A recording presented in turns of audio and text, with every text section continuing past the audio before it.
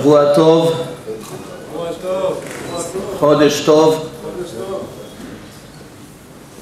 ברוך השם זכינו פה להיות שבט אחים גם יחד עם רבנים חשובים להתחיל את חודש אלול ברגל ימין. כל שנה אני חוזר על אותו עניין, כי זה חובה ממש לחזור עליו, על המצב העגום שאנחנו נמצאים בו, שבכל העולם הזה שבע וחצי מיליארד איש, יש סך הכל 13.2 מיליון איש. זהו. אנחנו אפילו לא רבע אחוז מן העולם. ומתוך ה-13.2 מיליון, אולי, אולי, אולי, משהו בסביבות שני מיליון שומרי שבת. זאת אומרת מעולם של שבעה וחצי מיליארד איש, שני מיליון שומרי שבת מקושרים לבורא עולם. כל האנשים האחרים כמעט בעולם, כולם חיים בשקר אחד גמור, טוטאלי, מנותקים בכלל מהאמת. אין להם בכלל שום שמץ של מושג מה הם עושים פה בעולם. כולם חיים בדמיונות. זה רוצה להיות כוכב כזה, וזה כוכב כזה, והיא ככה, וכל אחד והדמיונות שלו. ואנחנו בעילית של העילית. קודם כל זכינו להיוולד יהודים. רק על זה לא צריך 70 שנה כל היום לעשות מסיבות ושמחה ולשיר ולבכות מאושר. רק זה שזכה להיוולד יהודי. היית נולד איזה סיני בסין, אבא שלך היה שם לך איזה פסל בפרצוף, איך שנולדת, מלביש לך אותו ככה, מאכיל אותך תולעים עם קורנפלקס על הבוקר. או שהיית נולד בהודו, היו מביאים לך קורנפלקס בשתן של פרה. אני, יש לי הרי אנשים כל העולם מדווחים לי, יש לי איזה אחד הודי, צדיק כזה לא ראיתם, הוא כבר בתהליכי גיור, שאומר את כל המצוות, הודי! כל שבוע אבא שלו מכניס פרה לסלון של הבית.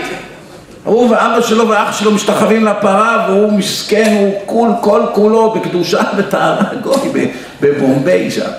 אומר לי כל מה שאתה אומר על ההודים, לא רק שאתה צודק, אתה עוד לא יודע כמה שאתה צודק, אתה לא מבין מה הולך פה, איזה עבודה זרה, איזה אנשים מטומטמים יש פה.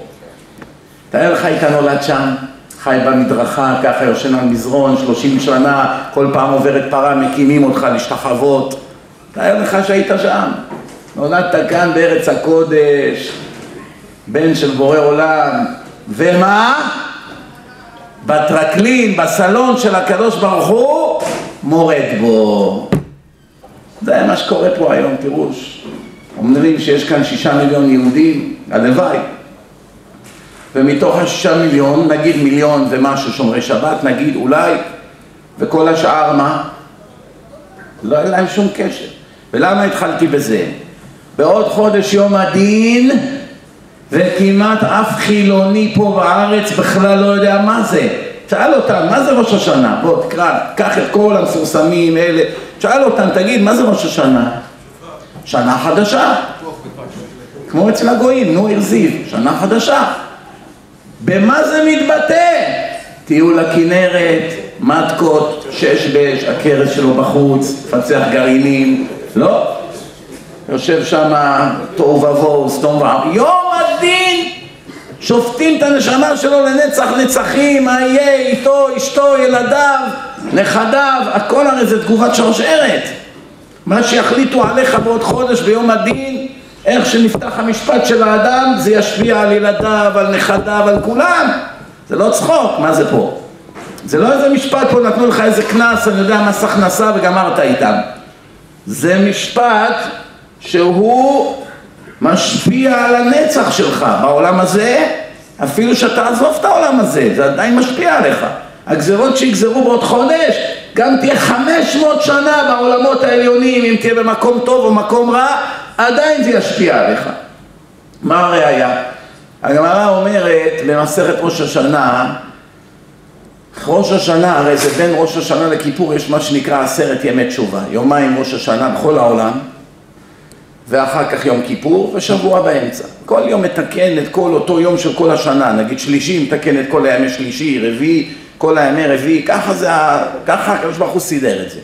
בדרך כלל יש יום רחמים לפני הדין. במקרה שלנו זה הפוך, קודם כל יש פסק דין, ראש השנה, כל מה שעשית דנים אותך, אחר כך יש לך כמה ימים כביכול כמו מין ערעור כזה. שאתה בא ואתה צם ו... ומתקן את המעשים שלך ואז כאילו מורידים לך מהעונש. מה שפסקו בראש השנה, אפשר איך שאומרים עכשיו, טוב זה תנתק, זה תבטל, זה תוריד 50 אחוז, איך אומרים יצאת בשן ועין. זה מה שאומרים בסוף רוב יום כיפור, כל הזמן אומרים כותבנו, כל עשרת ימי התשובה, כותבנו לחיים, מלך חפץ בחיים ובסוף מה אומרים? חותמנו לחיים. תחתום, זה הסוף, תפילת נעילה ונסגר הסיפור. אז הגמרא אומרת, שלושה ספרים נפתחים ביום הדין. ספרי חיים, ספרי מתים, ויש כאלה את הבינונים, אלה שעומדים ותלויים. אז הגמרא אומרת, דבר שלכאורה מי שלא מבין אותו, מי שמבין אותו כפשוטו, הוא בכלל לא מבין כלום. תכף נראה אם אנחנו הצלחנו להבין את הגמרא הזאת. הגמרא אומרת, צדיקים נחתמים מיד לאלתר, לחיים. רשעים נחתמים מיד למוות, לאלתר הכוונה מיד. בינוניים, אלה שהם גם מצוות גם עבירות, מה יוצא איתם הבינוניים האלה? הם עומדים ותלויים, כל רגע ורגע הם זזים ימינה, שמאלה, בסוף הקדוש ברוך הוא ידחף אותם לאיזה צד, ימין או שמאל, כן? עומדים ותלויים עד, עד החתימה, עד יום כיפור. אם זכו, עשו תשובה וכולי, נחתמים גם כן לחיים. לא, לא עלינו למוות.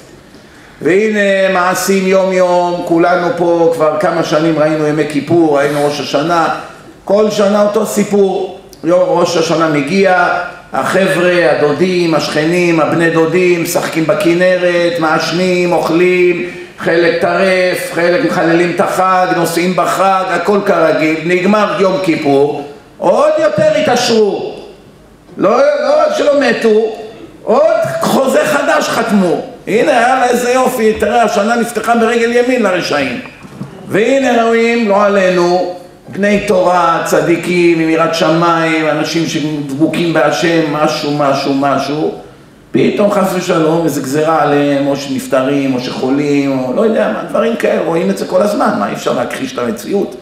אבל הגמרא אומרת, צדיקים לחיים, רשעים למוות, במציאות זה לא כל כך, חלק לכאן, חלק לכאן, משני הצדדים. כביכול, כאילו הכל מקרה, כביכול, חס ושלום.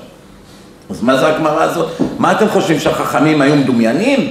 מה, הם לא היו חיים בעולם? הם לא ידעו מה הולך פה? מה, הם לא ראו לפני אלפיים שנה שכתבו את זה בתלמוד? שיש כל מיני רשעים שהנה עכשיו נגמר יום כיפור והם ממשיכים ללכת ברחוב והם לא מתו? הרי רק מזה הם היו צריכים לשנות את הגמרא, שלא לעשות מעצמם בושות, לא? אלא רבותיי, לא הבנו כלום, החכמים תמיד מדברים בצורה עמוקה, צריך להבין את דברי חכמים, לא מדברים סתם בשפת רחוב. מה זה צדיקים נחתמים לחיים, רשעים נחתמים למוות? מה זה הדבר הזה? כל התורה כולה תעבור מהפעם הראשונה שהתורה מתחילה לדבר על חיים ומוות ועד הסוף של התורה, שים לב טוב טוב, כל פעם שכתוב חיים, הכוונה חיים של הנשמה, לא של הגוף, חיי נצח. וכל פעם שכתוב מוות, הכוונה לא רק מוות שהגוף עכשיו ימות, שהנשמה לא עלינו ייגזר עליה מוות רוחני נצחי. ומה הראיה? יש הרבה פעמים בתורה שכתוב אם תלכו בחוקותיי וכולי, או אם תשמרו את מצוותיי, או אם תלכו וכולי, מה תמיד זה נגמר? למען תחיו. כדי שתוכל לחיות. מה זה לחיות? מה, הגויים העובדי עבודה זרה הם לא חיים? חילונים לא חיים? כל מיני רשעים אחרים לא חיים? גם דתיים חיים, גם חרדים חיים, כולם חיים. מה זה עכשיו למען תחיה? כלב לא חי? חתול לא חי? עכבר לא חי? מה זה למען תחיה? זאת אומרת מהתורה משמע רק אם תשמעו בקולי תחיו אבל במציאות רוב העולם לא שומע בקולו וחי טוב, אוכלים טוב, שמנים, בריאים, כן? אז מה זה, מה הולך פה? אז מה, ריבונו של עולם הוא לא יודע דברים שאנשים כמונו יודעים? איך זה שהשם לא ידע כזה דבר? אבל בתורה היא מדויקת, למען תחיו, הכוונה חיי נצח. והראיה בנביא יחזקאל, שם כתוב שהשם נשבע בשמו, זה שבועה במדרגה הכי גבוהה, חי השם, נשבע בשמי, זה יהיה, אין דבר כזה, אי אפשר, לא ישוב ריקם, זהו. חי השם, כי לא, כי לא אחפוץ, מה יהיה הסוף? תעייף. תעייף. מה יהיה? שמעתי שטרחו הרבה, שתהיה פה מערכת הגברה. כן? בסדר גמור. אולי בתיק יש בטריות, אה, אבישי, תסתכל. אה, הנה, אולי יש כאן.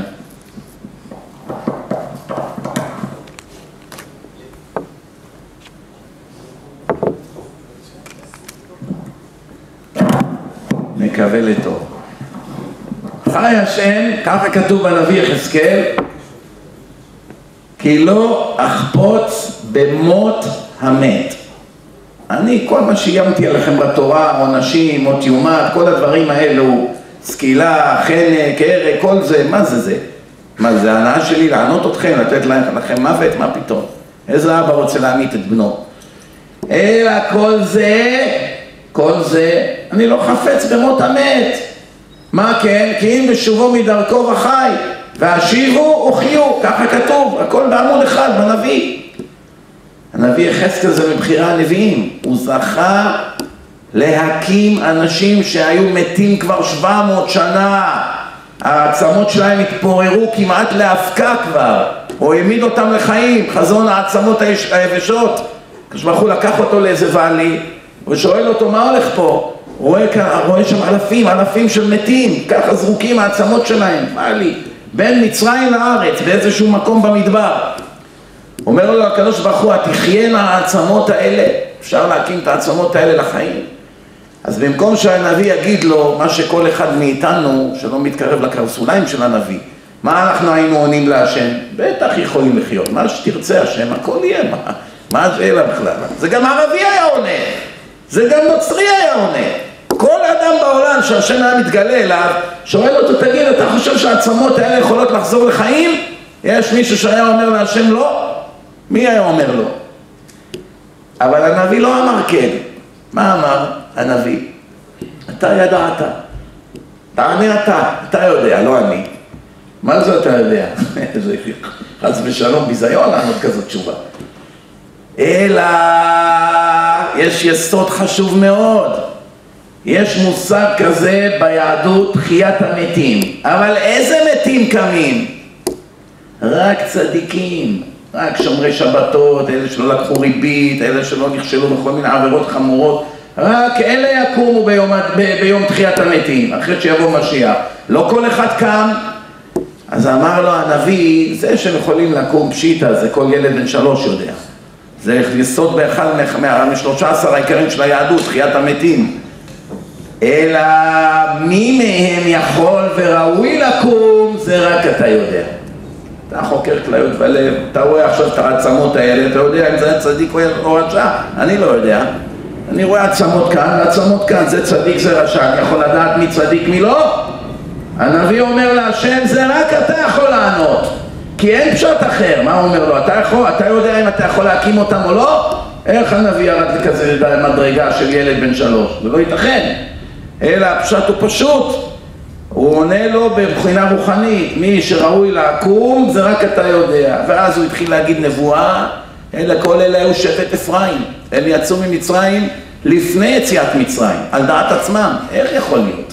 תגידו לי, אני שואל אתכם שאלה. היהודים היו באושוויץ, טרבלינקה, כל מיני מקומות נוראים, בדור הזה, בדור שעבר.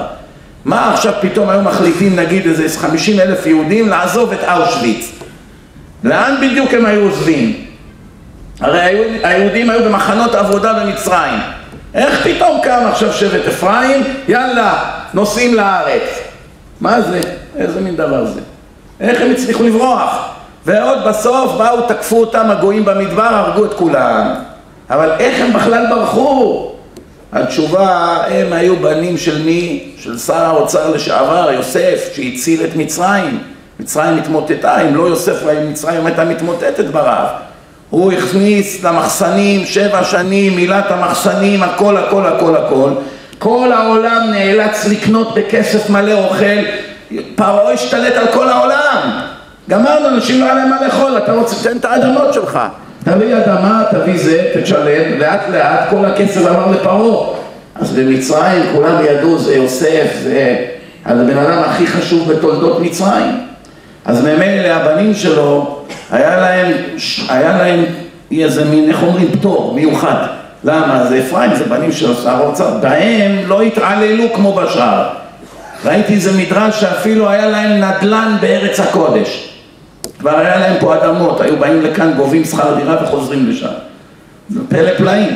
והם כאמור, לא היה להם השגחה כמו אחרים, התלכדו, ברחו ממצרים, באו הגויים, תקפו אותם, הרגו את כולם. והנה הנביא יחזקאל זה ש... לפני 2600 שנה בערך. זאת אומרת, 700 שנה הם היו מתים, והוא הקים אותם על הרגליים והם נהירו ככה את האבק, ובגמרא קם אחד ואומר, אני, יש לי שושלת יוחסין, אני משבט אפרים שקמו לתחייה, יש לי את השושלת יוחסין. אני, שנולד הבן הראשון שלי, אז אמר לי איזה רב, תדאג להביא כהן מיוחס, לא כל כהן הוא באמת כהן. אם כבר תביא אחד שיש לו איזה ייחוס שיודעים, אמרתי לו, מה, אני לא מכיר אחד כזה. אומר, יש איזה אחד בניו יורק, קוראים לו רפופורט, הוא כהן אשכנזי, יש לו אילן יוחסין, עד מתי? עד התנאים בגמרא. יש לו אילן יוחסין. אמרתי, בסדר, מיד השיג לי את הפרטים שלו, הבאנו אותו. עשו שם פדיון הבן לכל החבר'ה שהיו שם. כי היה שם המון אנשים, חברים, חילונים, בכלל לא יודעים אם עשו להם פדיון הבן. ואלה שעשו להם, מי בכלל יודע אם זה הכהן אמיתי באמת, או שומר שבת בכלל. אז ממילא עשו כבר לכולם, אם כבר עושים ברכה, יאללה, לכולם, כל אחד לקח את המטבעות, היה שם תחנת רכבת. כולם נפדו באותו יום. זה היה, היה שלו אילן יוחסין, אחרי כך לקחתי אותו טרמפ הביתה, סיפר לי שיש להם, זה עובר מאב לבן, אה, תקופת התנאים בגמרא, זה מדובר פה אלפיים שנה, אילן יוחסין. אז הנה לך כהן שהוא ודאי כהן, לא יודע אם הוא חי עדיין, זה היה לפני עשרים שנה, אז הוא היה קרוב לתשעים. כן. ומה שכן, הוא נתן לי מטבע אחד מהחמישה אחרי, אמר, תשמור את זה, ואל תשכח להזמין אותי לבר מצווה שלו. והאמת, שכחתי. עברו 13 שנה, שכחתי. אחר כך מצאתי את המטבע איזה יום אחד בחיפושים במגירות, וכך, איך אומרים, הלב שלי ירד לרצפה. נזכרתי, אמרתי, טוב, אולי כנראה הוא עבר מן העולם, מי יודע, למה שכחתי כזה דבר. טוב, נחזור לעניין. אז באמת, שלושה ספרים נפתחים. ואז הקדוש ברוך הוא באמת כל מקום שכתוב בתורה למען תחיו, הכוונה חיי נצח. בנביא יחזקאל כתוב, חי השם כי לא אחפוץ במות המת. אני לא חפץ להמית את המת. אלה שכבר עושים עבירות כגון חילול שבת, כגון כל מיני עבירות שכתוב עליהן בתורה מות יומת או יומת, ממילא הם כרגע אמנם עדיין הולכים ומדברים וצוחקים ושרים ורוקדים אבל הם מבחינתי כבר מתים גמורים, מבחינה רוחנית. מה הטעם להרוג אותם? הם כבר מנותקים ממני, הם מתים מבחינה רוחנית. תכף נבין את העומק בגמרא. הגמרא אומרת ככה: שלושה ספרים נפתחים ביום הדין. מי שעכשיו צדיק, אם הייתי עכשיו לוקח אותו מן העולם, לאן הייתי שולח אותו? שולח אותו לחיי נצח או שולח אותו חס ושלום לדיראון עולם. זה הפשט בגמרא. מי שעכשיו יום הדין התחיל, ראש השנה, פתחו את הספרים של הצדיקים. ספרים של החיים, שנחתמים לחיים, אבל הם ימשיכו לחיות פה עוד עשרים שנה וזהו, עוד עשר שנים וזהו. אם עכשיו אני צריך לגזור עליהם גזירה סופית, אם אני לוקח אותם מהעולם, באיזה מצב אתה עכשיו? צדיק? שאני נותן לך חיים? או רשע שאני נותן לך לא עלינו מוות רוחני נצחי. ואלה הבינוניים, קשה לפסוק עליהם. יש להם הרבה מצוות, אבל יש להם גם הרבה עבירות. אז ממילא נותנים להם שבוע ימים, תטה את עצמך. יום אחד האדם נפטר מן העולם, נגיד בן 81. נגיד 83. מ-83, 70 שנה מהבר מצווה עד עכשיו, היה לו ימי דין. 70 ימי דין. יום הדין הראשון, גיל 14, סימנו לו וי. גיל 15 וי, גיל 16 וי, גיל 18 התחיל לדרדר, נפלט מהישיבה, סימנו לו מינוס, גיל 20, נהיה חילוני כבר, עוד מינוס, ככה 21, 22, 23, מינוס, מינוס, מינוס, הגיע לגיל 30, גיל 30 קיבל איזה דיסק, זעזע לו קצת המעיים, לאט לאט התחיל לחזור, והנה עוד פעם, וי, וי, וי, וי, וי, זה החיים של הבן אדם, רק מה?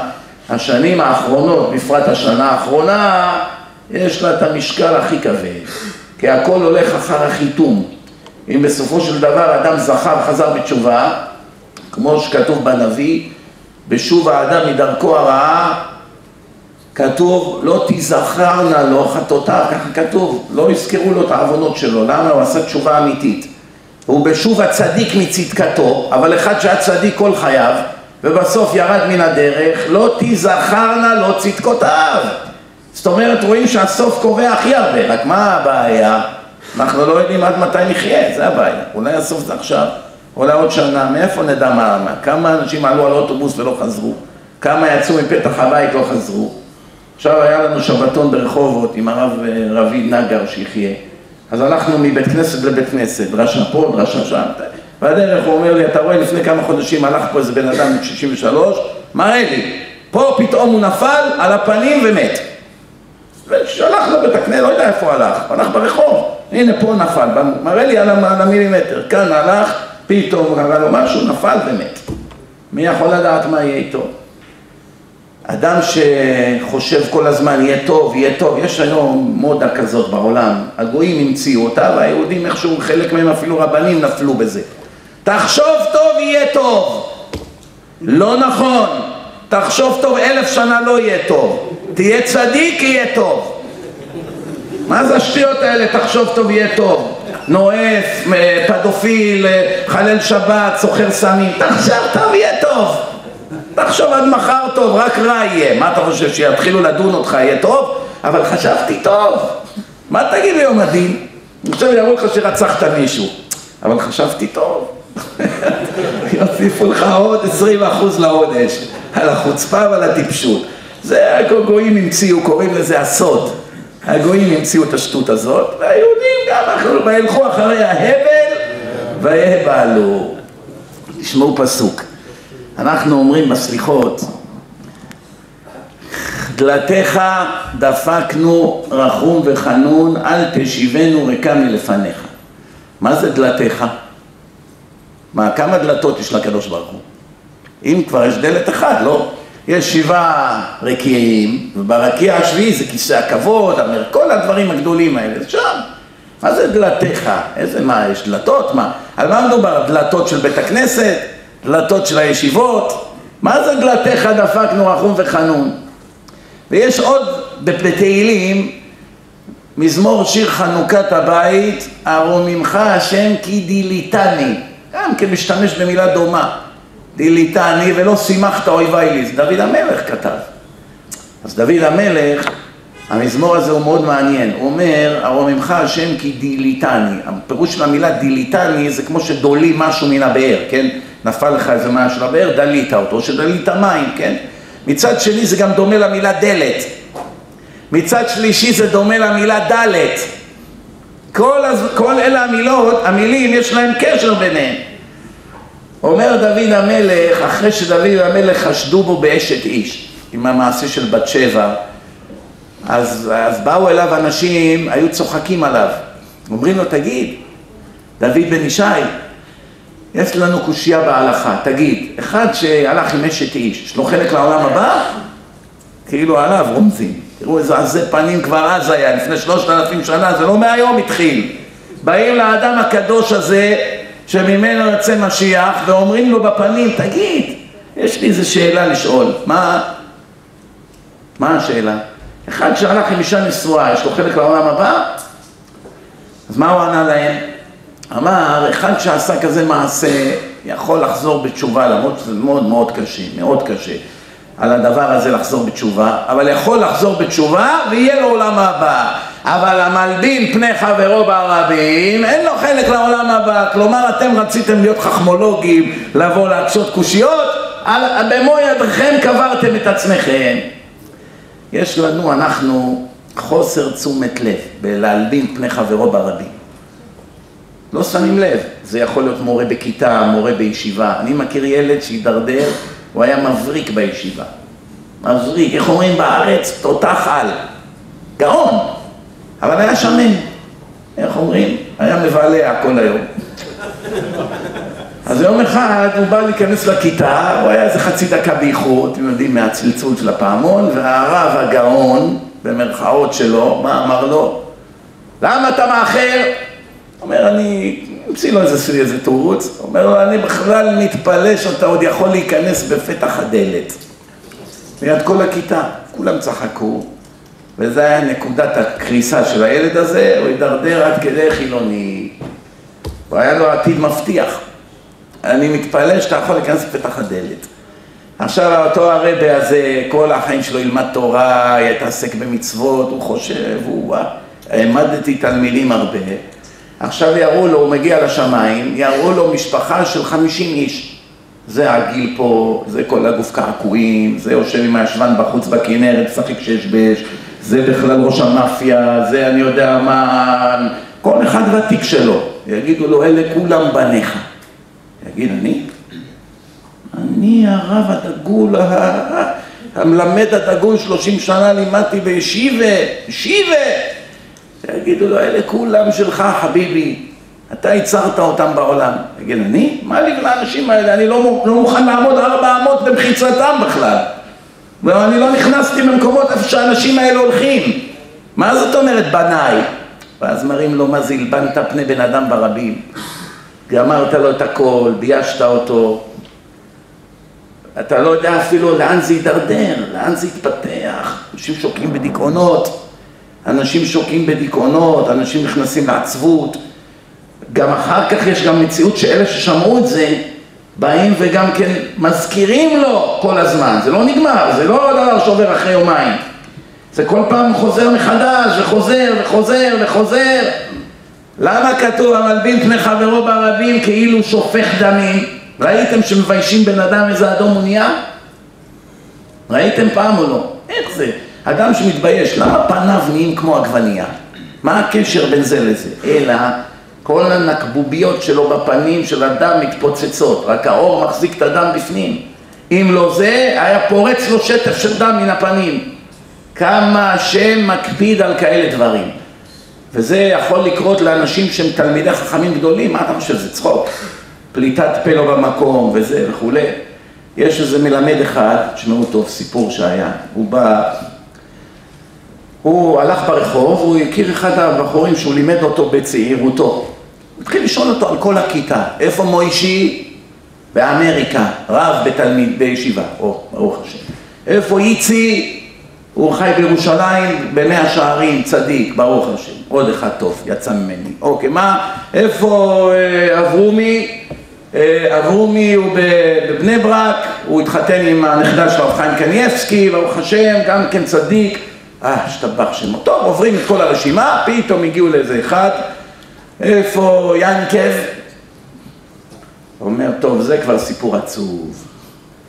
אומר לו מה? הוא אומר, הוא מדוכא כבר שבע שנים לא יוצא מהבית. אז הוא אומר לו, מה זאת אומרת?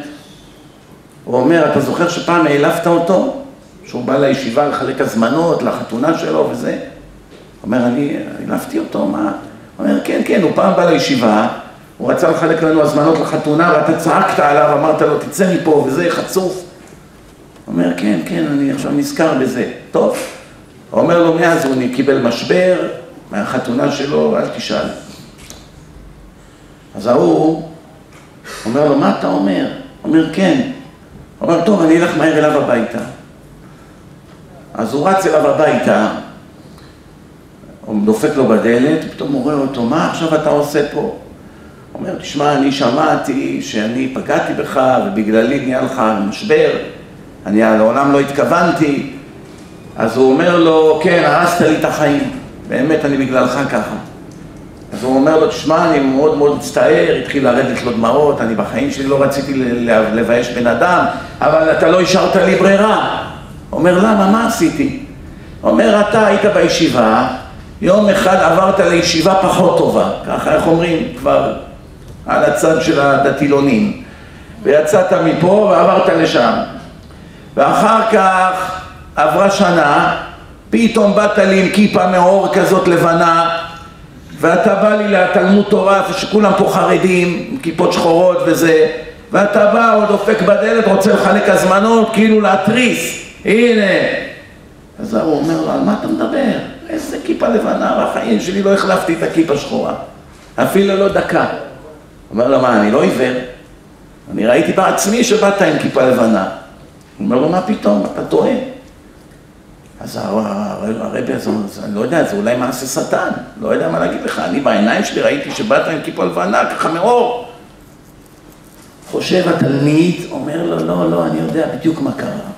אני באתי לשם במונית, והנהג פתח את החלון, והכיפה שלי עפה מהחלון בכביש, ובאו המכוניות עלו על הכיפה שלי עם כל הלכלוך והאבק, והיא נהייתה לבנה. זה מה שקרה. אומר לו, אומר לו הרב, מה אתה אומר? זה מה שקרה? אומר, כן. אומר, ממש מחילה, אני מצטער וזה. אומר לו, תשמע, אני מוכן למחול לך בתנאי אחד. מה? שאתה תאסוף את כל הכיתה לאותו חדר בישיבה איפה שהעלפת אותי ותבקש ממני מחילה ליד כולם. הוא אומר לו הרב, אני בשמחה הייתי עושה את זה, הרב אחד באמריקה, אחד באירופה, אחד בירושלים, אחד בצפת, אחד בבני ברק, איך אני אביא את כולם? איפה אני אשיג אותם? ואני צריך עכשיו לשלם להם כרטיסי טיסה? אומר לו, לא מעניין אותי. אתה רצחת אותי ליד כולם, אתה תוציא אותי מהרצח הזה ליד כולם. טוב, ההוא הלך, בא לרב אלישיב, גדול הדור, לא חוכמה, הלך לרב אלישיב, אומר לרב אלישיב, עשיתי חשבון, כמה יעלה לי להביא את כולם? 17 אלף דולר. כרטיסי טיסה על ימי עבודה, עשיתי חשבון של כולם שמסכימים לבוא. למען העניין, לבקש מחילה על שנייה של פליטת פה אבל זה שנה משכורת שלי, אני מלמד בתלמוד תורה, כמה נותנים לי? חמש אלף שקל? שש אלף שקל בחודש? שבע עשרה אלף דולר זה שנה עבודה שלי מהבוקר עד הלילה מזיע ולמד גמרא, שובר את הראש, בודק מבחנים, כותב מבחנים, מה זה קל להיות מורה בישיבה? אין לך חיים, אתה אין לך חיים פרטיים, אתה כל היום בזה, מה? זה לא צחוק. שנה אני אעבוד בשביל זה, בשביל שנייה פליטת פה. אמר לו הרב אלישיב, מה בכלל השאלה? מה בכלל השאלה? אומר לו. מה, אתה רוצה לאבד את כל העולם הבא שלך בשביל 17 אלף דולר? מה השאלה בכלל? לא הבין איך הוא שואל כזו שאלה בכלל. היית, זה צריך להיות פשוט. מיד תסכים. פעם אחת שהעליב בן אדם. עכשיו תכפיל את זה פי 100, 200, 300. איפה נתחיל, איפה נגמור. נחזור לעניין. אומר הקדוש ברוך הוא, בראש השנה אני פותח את הספרים ואני עכשיו מחליט. אתה לפי השנה הזאת ראוי להיכנס בספר החיים, חיי נצח, ואתה חס ושלום שם. אומרים בסליחות, דלתיך דפקנו רחום וחנון, אל תשיבנו ריקה מלפניך. דוד המלך חשדו בו באשת איש. אמר לאנשים, אתם מלבינים את פניי ברבים, אתם לא, לא יהיה לכם חלק לעולם הבא. והוא לא חטא באשת איש. הגמרא אומרת, כל האומר דוד חטא אינו אלא טועה. יש בזה פלפול שלם. בסופו של דבר דוד ביקש מהקדוש ברוך הוא, ריבונו של עולם, תנקה את שמי בחיי. אל תיתן לי למות עם הכתם הזה בתיק שלי.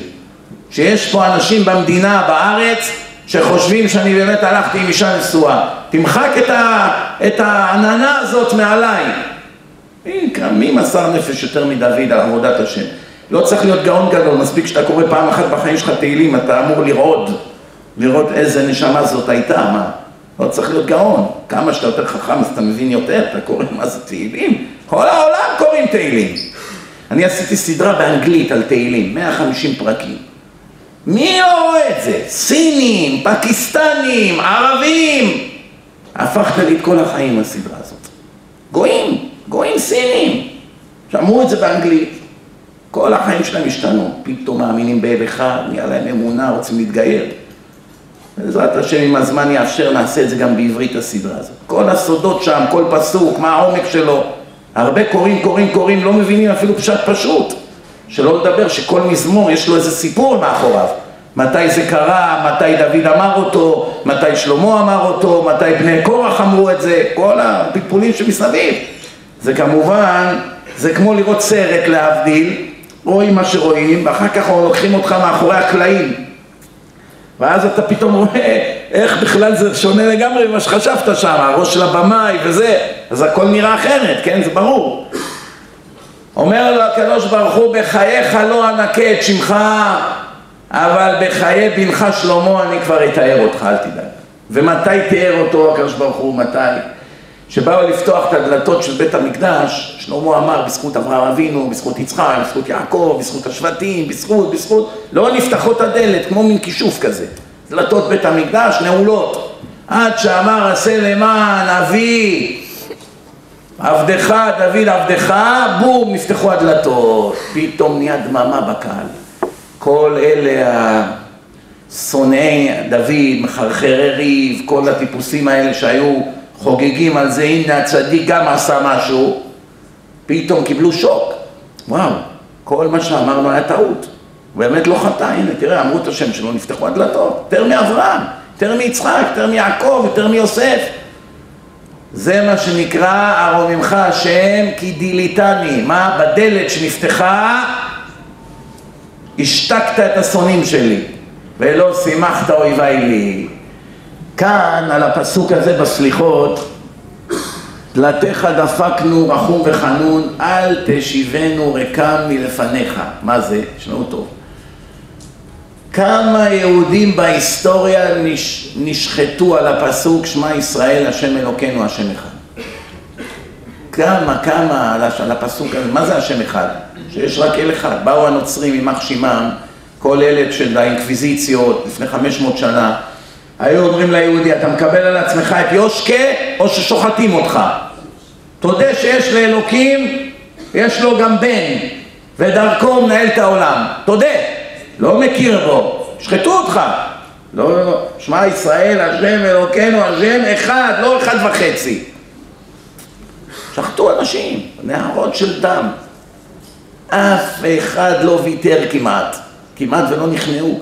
זה מה שהקדוש ברוך הוא בא, יש מדרש, הקדוש ברוך הוא בא לאברהם אבינו, אברהם, אברהם שהתפלל על אנשי סדום, שהקדוש ברוך הוא אמר אני הולך להפיל את, להוריד את כל סן פרסיסקו ותל אביב ומנהטן ולס וגאס, כל ההרים של התועבה, אני הולך לנקות אותם מהאדמה. ומה אברהם אמר? רגע, רגע, לא כל כך מהר חכה הקדוש ברוך הוא, אולי יש שם עשרה צדיקים, אולי יש כאלה שלא חטאו, מה אתה רוצה להעמיד צדיק עם רשע? דרך אגב, הרבה טועים במדרש הזה. חושבים שאברהם אבינו התפלל על הרשעים, הוא לא התפלל על הרשעים. מה פתאום? כתוב בעבוד רשעים רינה. זה טוב לעולם שהרשעים נמחקים מן העולם. פחות סבל לצדיקים, כי הצדיקים אוי לרשע אוי לשכנו. אתה גר ליד רשעים, בא עליהם פורענות, גם אתה סובל, מה אתה חושב? זה אין מה לעשות, כל, כל ישראל ערבים זה לזה. אלא מה, אברהם כל הזמן אמר להשם, אתה רוצה לפגוע גם בצדיקים? מה, הצדיקים יענשו יחד עם הרשעים? ואז הקשוח אמר לו, אין, אין כאן חמישים צדיקים, אין ארבעים וחמישה, אין ארבעים, אין שלושים, אין עשרים, אין אפילו עשרה. אבל אברהם אבינו בכל זאת, ידוע כאיש החסד, איש הרחמים, אפילו על ישמעאל בנו הוא ריחם, היה הולך לבדוק עם מי הוא התחתן, אחרי שזרק אותו מהבית, הוא היה הולך מרחוק, זה לא כמו היום נכנס למרצדס עם הנהג ומגיע לשם עם המזגן. היה הולך לשם עם חמור, עם גמל, מי יודע, ימים ולילות, היה בא שואל, תגיד, ישמעאל גר פה? כן, מי זו אשתו? זו אשתו, הוא בסדר, הוא בריא, זה, הוא הולך לברר עליו. אף על פי שהשם כבר אמר לו, ישמעאל לא בן שלך בכלל, מה אתה בכלל אוהב אותו? הקדוש ברוך הוא אמר לאברהם אבינו, אמר לו, קח נא את בנך. אברהם אבינו אמר לו, איזה בן? יש לי שניים. אמר לו, יחידך, חביבי, יש לך אחד, אין לך שניים. אבל אמר לו, אבל יש לי גם את ישמעאל. אומר לו, אשר אהבת, את זה שאתה אוהב. מה ענה לו אברהם? אני אוהב את שניהם. היית צריך כבר להבין, מה, כמה רמזים אתה צריך? אומר לו, אני אוהב את שניהם. אומר לו את יצחק, ביצחק יקרא לך זרע. יצחק זה הבן שלך, ממנו אתה יוצא לעם, לא מהשני. השני פרא אדם ידו בכל ויד כלבו. תכלית שלו זה לענות את בניך. שום דבר אחר לא, אני שמתי אותם שוטר עליכם. כל מקום שהיהודים פתחו קהילה בעולם, מיד מגיעים הישמעאלים. כל מקום. טורונטו הייתי, ישר היהודים פתחו קהילה, ישר מגיעים לשם כל הישמעאלים. מונטריאול, יהודים מוקפים בערבים. ברוקלין, יהודים מוקפים בערבים. מונסי, יהודים מוקפים בערבים. כל מקום, לקווד, אותו דבר. מה זה? מה הולך פה? למה הם באים? כמובן השם מגלגל ככה, אבל למה הם באים? הם, מה מביא אותם לבוא לגור ליד יהודים? לכאורה הם שונאים יהודים, הם צריכים לברוח משם, לא? מי רוצה ללכת לגור ליד אנשים שהוא שונא אותם? בגלל הבשר הכשר, חלל מת. הם יודעים, אין להם איפה להשיג בשר של מוסלמים, צריכים שחיטה. והערבים אוהבים בשר, המטבח הערבי הוא מלא בבשרים. לכן, אם עכשיו ילכו לגור באיזה מדינה, אין שם חלל מת. הם צריכים לקנות בשר. ממי אפשר לקנות בשר? רק מהיהוד. רק מיהוד אפשר לקנות, לא מיהוד, יהוד. מהיהודים. ואז, אז אפשר, אז אפשר לקנות בשר. אז איפה שהיהודים פותחים קהילה, יש ישר שוחטים, חנויות, אטליז וכולי, ישר הם באים לגור שם. הקדוש ברוך הוא בא לאברהם אבינו, אומר לו, בניך חטאו לי. מה עונה לו אברהם? במקום לומר, ריבונו של עולם, אתה יודע, יש יצר הרע, זה לא פשוט, תן להם עוד הזדמנות, תן להם צ'אנס, אולי תפדה את זה בצדקה. לא אמר ככה, מה אומר? ימחו על קדושת שמך. חתרו לך? תמחק אותם. זה נראה לכם שאברהם מסוגל להגיד כזה דבר? אם עכשיו יבוא אל אחד מאיתנו, יגידו לו, הבנים שלך עצבנו אותי, נגיד, מה תגיד לקדוש ברוך הוא? תמחק אותם מהאדמה. לא הגיוני. מה תגיד, ריבונו של עולם, תן להם עוד, לפחות עוד שנה צ'אנס. תן אולי, תכניס אותם לישיבה, שנה ילמדו, יקבלו קצת שכל. היה מתחנן להשם, תן, אני אפדה אותם, אני אתן לך קצת כסף, קח לי את הבית. תן להם הזדמנות. תביא להם הזדמנות לשבת בתלמוד תורה, ללמוד כמו שצריך. לא אמר ככה, מה אומר? ישר, ימחו על קדושת שמך. הכל מתקשר, רבותיי, הכל מתקשר. מה אנחנו אומרים להשם פה? תשמעו טוב. שבאו לשחוט אותנו, מה אמרו לנו?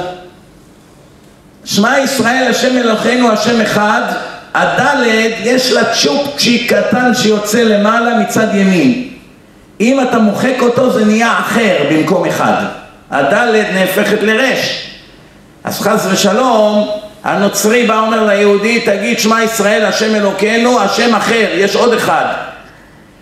והיהודי אמר בשום פנים ואופן, דלתיך דפקנו, כמה שילמנו מחיר על הדלת הזאת, כמה שחטו אותנו על הדלת הזאת, אל תשיבנו ריקה מלפניך.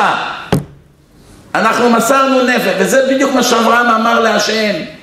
מה שלא יהיה עם היהודים, כמה רשעים שהם יהיו, אלא אם כן אם מהערב רב זה משהו אחר. מה שלא יהיה, שיבואו ויגידו להם לעשות משהו נגדך, ממש באופן ישיר, הם ימותו ולא יעשו. מה הראיה? בשואה היה איזה דוקטור חילוני, נשוי לגויה, שונא דת, אתאיסט. לא צריך להסביר, כן? אז הוא, הוא לא מכוחות הצדיקים, כן? וכל החיים שלו זלזל ברבנים, בתורה, הכל ממש אנטי. והנה באו הנאצים, תפסו אותו, הכניסו אותו לתוך בית כנסת, אמרו לו עכשיו אתה תוציא את התורה שלכם, תפתח אותה ככה על הרצפה ותעשה עליה את הצרכים שלך. ואם תעשה ככה, ניתן לך ללכת היום, לא נהרוג אותך עכשיו. ואם לא, נשחט אותך בייסורים. זה לא ניסיון קל, שלא תחשבו, אדם מפוחד למות, מה? והוא בכלל, כל החיים שלו עשה צחוק מהדת. מילא איזה חרדי, אני יכול לעשות כזה דבר על התורה? אין ברירה, נגזר, נגזר, שמע ישראל בוחר, אוהד מפחד ומת. אבל אחד אתאיסט, לכאורה, גם בלי הנאצים היה יכול לעשות כזה דבר, לכאורה, כן? והרופא הזה אמר, אני לא עושה את זה. אמרו לו, למה, מה, אתה לא אחד שמירה דתי, אין לך זקן ואת אלה ככה, אומרים לו הגרמנים, מה? לא עושה את זה. והרגו אותו על הספר תורה. וזה מה שאברהם אמר להשם, שיבוא קדושת שמך, הם ימחו על קדושת שמך, ימותו על קדושת שמך, לא יעשו את זה. זה המציאות רבותיי, הרבה פעמים ראינו מקרים כאלה, שאנשים שהיו רשעים גדולים, ברגע אחד, רגע של פתאום, פתאום התעוררו. מה אני עושה? ופתאום הזדעזעו וחזרו בתשובה. אנחנו מתחילים מחר את הסליחות. יש הרבה אנשים, הסליחות בשבילם זה שירה במקהלה. כל אחד כוכב נולד, רוצה לבוא ולשיר. יש לי איזה מכר אחד באמריקה, ישראלי, ממוצא ספרדי. כל שנה, היום כבר לא מתקשר, אבל היו שנים, הוא היה מתקשר כל שנה כמה ימים לפני שהסליחות מתחילות. תגיד, איזה יום מתחיל הסליחות? יום שני. איזה שעה? שש וחצי. אה, מה הכתובת? מה אתה עכשיו אכפת לך מהסליחות? זה רמאי, נוכל, כל בן אדם שבא איתו במגע שדד אותו. אז אני מתפלל, מחלל שבת, אוכל טרף, הכל ביחד. מה עכשיו כל שנה הוא נזכר בסליחות? אומר לי, אמרתי לו, מה לך לסליחות? אומר, אני מתגעגע לילדות, זה מזכיר לי את השירים. הוא בא בשביל השירים, לא מעניין אותו התשובה. שירים, חטאנו לפניך, אני חושב שזה מקהלה, כן?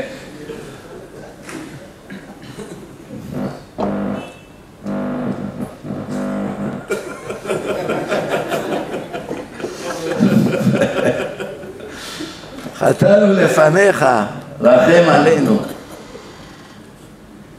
מה זה חטאנו לפניך? מה פירוש המילה חטאנו לפניך? בשוגג, לא במזיד.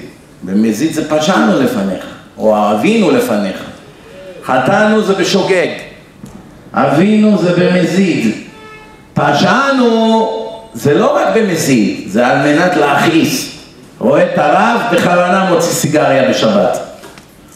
פעם בן אדם היה רואה את הרב מרחוק, אלה שחיללו שבת, היו מהר זורקים את הסיגריה, מסתדרים, באים, שלום, כבוד הרב, שבת שלום, עושה את עצמו כאילו יצא מבית הכנסת עכשיו. למה? לא נעים מהרב. היום התהפכו היוצרות, אה, יש שם רב, בוא בוא תבוא. מה נשמע כבוד הרב? צלם אותו, אפשר לעשות סלפי? שבת! אני הייתי בבית כנסת, בשבת בר מצווה, צלם, משה, למעלה, בשבת עם המצלמות, בתוך בית הכנסת. אנשים כבר אפילו לא מרגישים את העוון שהם עושים, באים לבית השם, רומסים שם את התורה, ואפילו באמת הם לא מרגישים שמשהו כאן, אם הרי תגיד לבן אדם הזה, תגיד, אתה מוכן לירוק על הספר תורה? מה, השתגעת? איך אתה שואל כזו שאלה? כן, כן, בוא הנה, אני אביא לך, אני אתן לך אלף דולר עכשיו, בוא תראה את לעשות. מה, הגזמת? אני אומנם חילוני, כבוד הרב, אבל אני מכבד. אבל מה, הוא בא בשבת עם המכונית, פעם באמריקה, בתפילת, הייתי בשבתון, בית כנסת אלף איש. אלף איש בבית הכנסת. מנחה, הרב שם היה חפיפני כזה, כל מי שנראה לו מעלה אותו לתורה. פתאום הופיע איזה אחד, הופיע מהר פארן, בא עם אופנוע כזה סוזוקי, עם כפפות, מעיד מאור, שלף ככה את הכס, איפה הכנעת האופנוע? על המדרכה מילימטר כנסת של הבית הכנסת. לא יחנה ככה בתחילת הרחוב וישחק אותה כאילו הוא הופיע לתפילת מנחה. מחנה את האופנוע בכניסה לבית הכנסת. אנשים עומדים, רואים אותו, נכנס, שם את הקסדה, נכנס לבית הכנסת, טלפון שלו פה בחגורה. אני פתאום רואה, הרב שואל אותו, מה של אביך? אז אני באתי לרב, אני אומר לו, מה זה כבוד הרב? אתה מחלל שבת בפרהסיה בלי בושה בכלל, ככה אתה נותן לו עלייה, מה? זה נגד ההלכה, מה? אסור לתת למחלל שבת עלייה, מה זה פה? זה צחוק! אנחנו לא מקפידים פה. אני, הלב שלי רותח, מה אני אעשה סקנדל עכשיו ליד אלף איש? הלכתי, ישבתי בפינה. לא עברו עשרים שניות. איך שהוא עלה לתורה והבעל קורא התחיל לקרוא, פתאום הטלפון הארור שלו התחיל לצלצל מוסיקה של שחורים מאפריקה. יואו וואו יואו היי וקללות. מה זה ביזיונות והוא התחיל ככה מחפש את הטלפון וככה במשך דקה בתוך שבת במנחה אהבה דרעבין המוזיקה של השחורים שם של כל הבית הכנסת, ואני רואה את כל הזקנים שם, רצו לשחוט אותו שם. אמרתי לו, אתה רואה, קיבלת מה שמגיע לך. לפחות תעשה תשובה, תפסיק לעשות צחוק מהתורה. מה זה עזר? ודאי שלא. למה נותנים לו עלייה? נותן צ'קים. נותן צ'קים, מה עכשיו לנו ולהשם? תביא, תן את הכסף. כן? זה המציאות. אז פעם אני באתי לבית הכנסת הזה, הייתי נותן שם שיעורים כל יום רביעי. אבל היו צעירים אמריקאים מתחזקים, לא ידעו כלום מהחיים שלהם. התחילו לשמור שבת, באים לשיעורי תורה, אוכלים כשר, התקדמות יפה. יום אחד אני אומר להם, רבותיי, אסור לבוא לבית הכנסת עם מכונית בשבת. עדיף שאדם יתפלל בבית כל החיים שלו, אם אין לו בית כנסת בקרבת מקום, כל החיים שלו, מאשר פעם אחת בלבד יניע את המכונית. עדיף. אם עכשיו אומרים לך מה עדיף, כל החיים שלך תבוא עם מכונית לבית כנסת, תפילות, תחנונים, כל שבת עם האוטו, או להישאר בבית, להתפלל בבית, ודאי בבית. אבל אם אומרים לך, פעם אחת רק תניע את האוטו, ובתמורה תוכל כל החיים שלך לבוא לבית הכנסת. לא, אין היתר. אין היתר להניע את המכונית. אדם יש לו בית שווה 700 מיליון דולר, עתיקות, תמונות, עברו ארבע שנים לסדר את הבית. התחילה דלקה בשבת, אין ילדים, אין תינוקות. 700 מיליון דולר יישרפו, אין ברירה, יישרף. מה, כבוד הרב, תביא לי, שפוך את זה. אני תורם את הבית לבית הכנסת, הנה, לעיני 500 עדים. כבוד הרב, תן לי היתר, הבית שלך, הנה, לעיני עדים, אני מצהיר, הפקר הבית לכבוד הרב. הנה הבית שלך, רק תן לכבות האש, חבל, תראה פיקאסו, תראה איזה תמונות, הכל יישרף. הפספורטים שלי, יש לי בתוך הקירות גם מאות מיליונים מוחבאים בתוך הקירות. יצא, באה האש, יצא הסוד. מה הרב יכול להגיד לו מותר? אין היתר. אין היתר לכבות. אנשים מזלזלים בשבת, חוף הים, מה העניינים אחי? שבת שלום, חושבים שזה צחוק, אה? הם רק היום מבינים מה היה הסוף שלהם על כל הדלקת מכונית, על כל לחיצה על הגז. תאמינו לי שלא היו מחייכים והיו מוכנים כל החיים לסגור את עצמם בארון, סגור ונעול כל החיים, מאשר פעם אחת להניע את המכונית. לא יודעים. אם הרי תבוא לאחד מהמחללי שבת האלה, תגיד לו, תשמע, אני אתן לך עכשיו מאה אלף דולר, אני רוצה שתלך לרצוח איזה תינוק. מה? תינוק? מה עשה התינוק? מה זה עניינך? מאה אלף דולר, תטביע אותו באמבטיה. השתגעת? לך מפה. אתה קורא לעצמך דתי? אחרי חמש דקות כבר היית באינטרנט, בכל האתרי רכילות. וככה אתם צוחקים, לחלל שבת זה עבירה יותר חמורה מלהטביע את התינוק. עם עונש יותר חמור, וזה אנשים לא יודעים, לא יודעים פה במדינה הזאת, שום דבר לא יודעים. ואחת הסיבות שלא יודעים, כי יש הרבה רבנים פוחדים להגיד את האמת, יפטרו אותם, הם צודקים, מה יעשו? עשו עליהם עליהם. קבל ממשרד הזה במשכורת, או יגידו לו, אדוני, אתה לא יכול להיות רב שכונה, יפטרו אותך. אתה לא יכול לדבר! כל מילה שבן אדם מדבר ישר שוחטים אותו. מי כן יכול לדבר? מי שלא עובד בשביל אף אחד. בא, נותן דרשה והולך. אז מה, תפטר אותי מאיפה? לא שילמת לי משכורת, מאיפה תפטר אותי? קיצור, אני דיברתי שם, אסור לבוא עם מכונית בשבת. פתאום אני רואה את אותו אחד, הרב ההוא, והנשיא של הקהילה, זה תכשיטן אחד גדול ממנהטן, עומדים ככה, עושים ככה עם הידיים. נו, מה אתה עושה? אני רואה הרב הזה עומד להתעלף. עושה לי ככה, לא, לא! ואני עוד יותר, אש ככה. תודיע איזה רכב. חברים, מחילה שאני מפריע, סיאט ביזה שחורה שחונה פה ממול. מספר רכב 35-54254.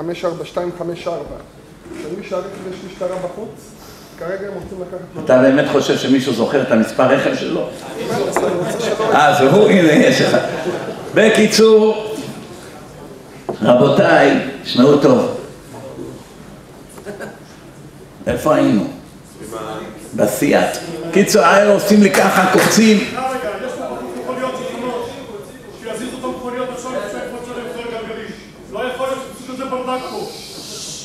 בסדר, יוציאו את המכוניות.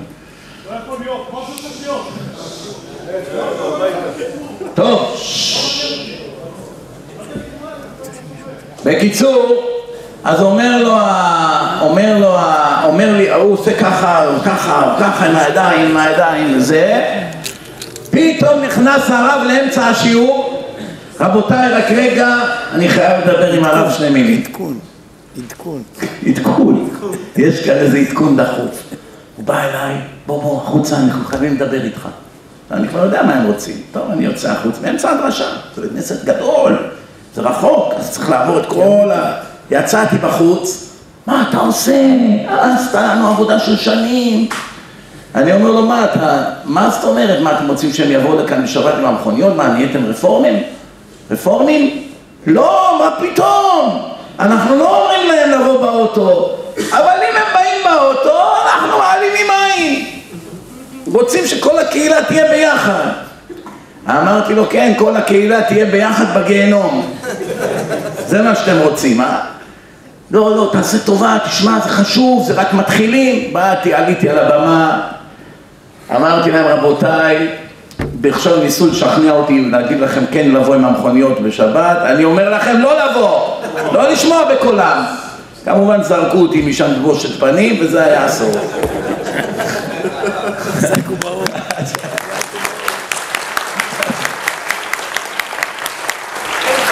אני שמעתי משפט מהרב עמרמי, הוסיף לי שנה לחיים.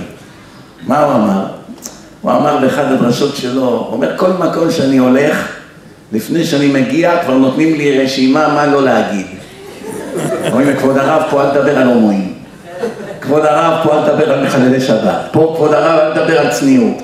כבוד הרב אל תדבר פה על כספים. פה אל תדבר על מעשר. כל מקום יש כבר איזו רשימה. יש כאן זה, הנשיא של בית הכנסת, הוועד, כאן, כל אחד יש לו איזו רשימה, תזהר לו לפגוע בהוא או בהיא או ב... אומר, כל מה שעד היום אמרו לי לא לדבר, רק על זה אני מדבר.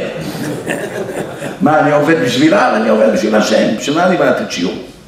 אולי נציל עוד כמה יהודים שיתקרבו להשם. זה כל המטרה של השיעור. שיעור תורה שלא הכניסו בו מוסר, מה הוא שווה בינינו? מישהו בכלל יזכור אותו? מישהו יזכור עוד שבוע מהשיעור משהו? רק יזכרו דבר אחד. הרב הזה שדיבר, תפס סכין, תקע לי אותו בלב, ובמשך שעתיים ככה סיבב וסיבב וסיבב, גמר אותי. זה מה שהוא זוכר. הוא לא זוכר עכשיו, אמרת לו הלכות, דינים, קל וחומר, לא זוכר כלום, רק מה הוא זוכר? הוא דיבר עליי שאני לא שומר שבת, וזה אכל לו את הלב, ובסוף הוא נהיה שומר שבת, זהו. וזה מה שאתה חייב להשיג בשיעור, אם לא, מה זה שווה השיעור? לא שווה כלום אם לא כך, רבותיי. תראו, הגמרא אומרת ככה, תשמעו טוב. שלושה דברים מזכירים את עוונותיו של האדם. בשמיים יש דברים שמביאים לפני הקדוש ברוך הוא תזכורת על העוונות שלנו. מה הם? דבר ראשון, קיר נטוי. קיר כזה, ישן כזה, שעומד להתמוטט, מזכירים את העוונות של האדם. תכף נראה מה זה שייך בכלל. מזכירים. דבר שני, עיון תפילה. מה זה עיון תפילה? אדם שמתפלל, מתפלל בעיון ככה בכוונה ובתחנונים, ומיד יושב עכשיו, סופר כמה שניות, נו, נו, מה הולך שם, נו, איך זה שעוד לא נעניתי? יושב ומקפיד, כן? עוד לא קיבלתי עכשיו את מה שביקשתי, כן?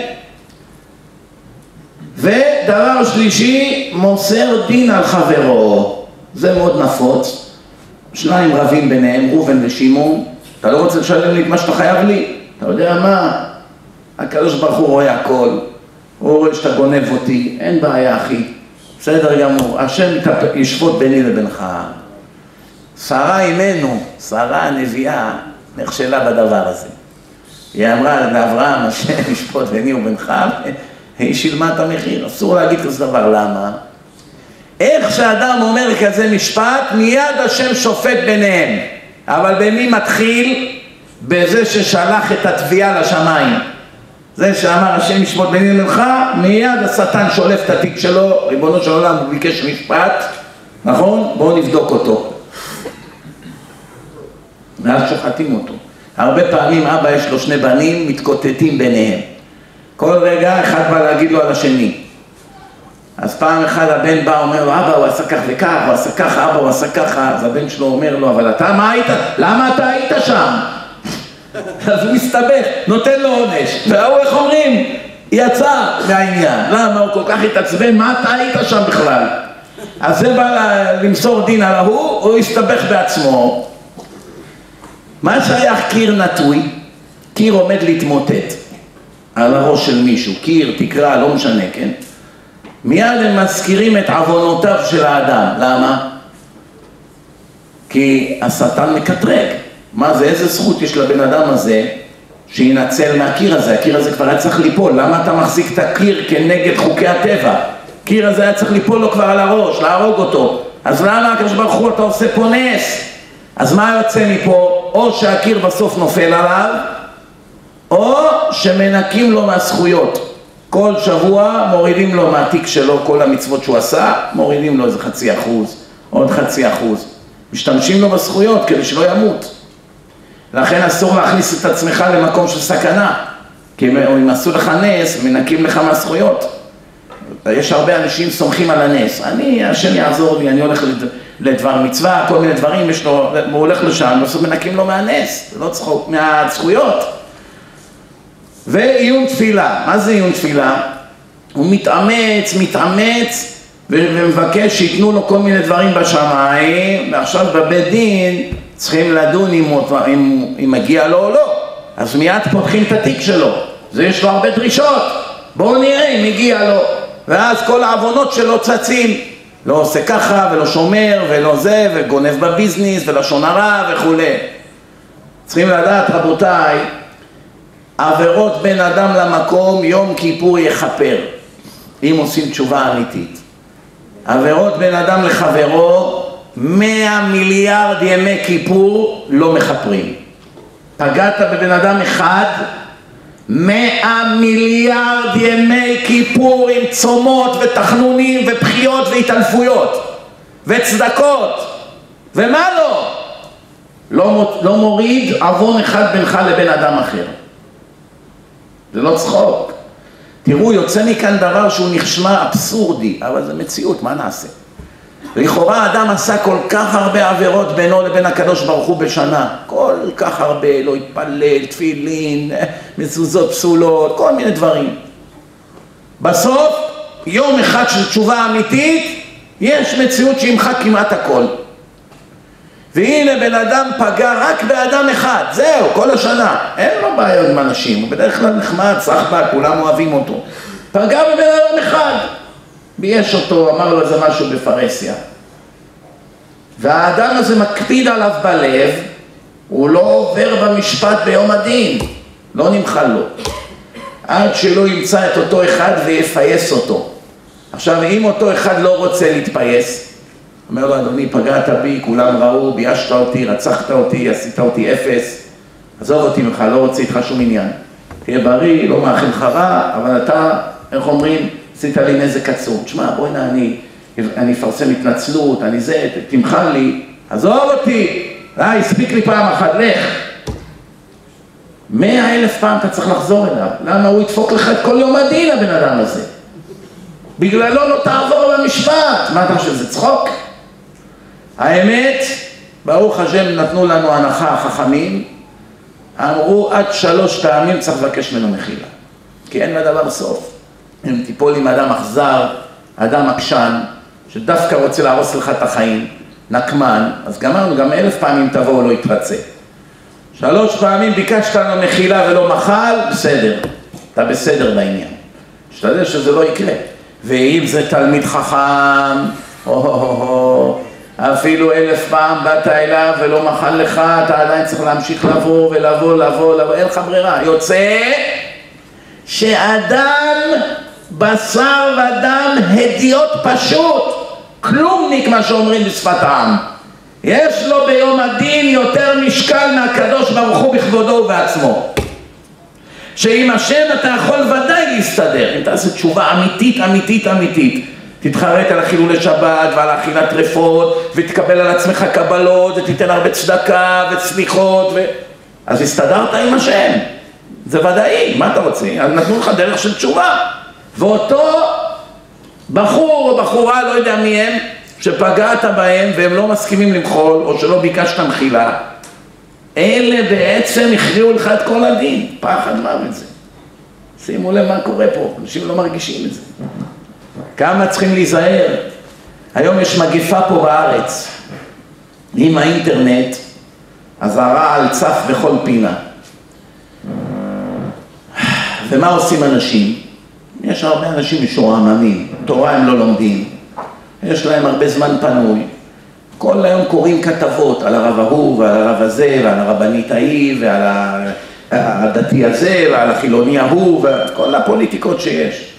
ואז הם תמיד, משום מה, יש להם איזה הווה אמינא שמינו אותם להיות דיינים בבית דין של מעלה. חיים בדמיונות. אני שופט כל הארץ, השופט כל הארץ לא יעשה משפט? אני הממונה.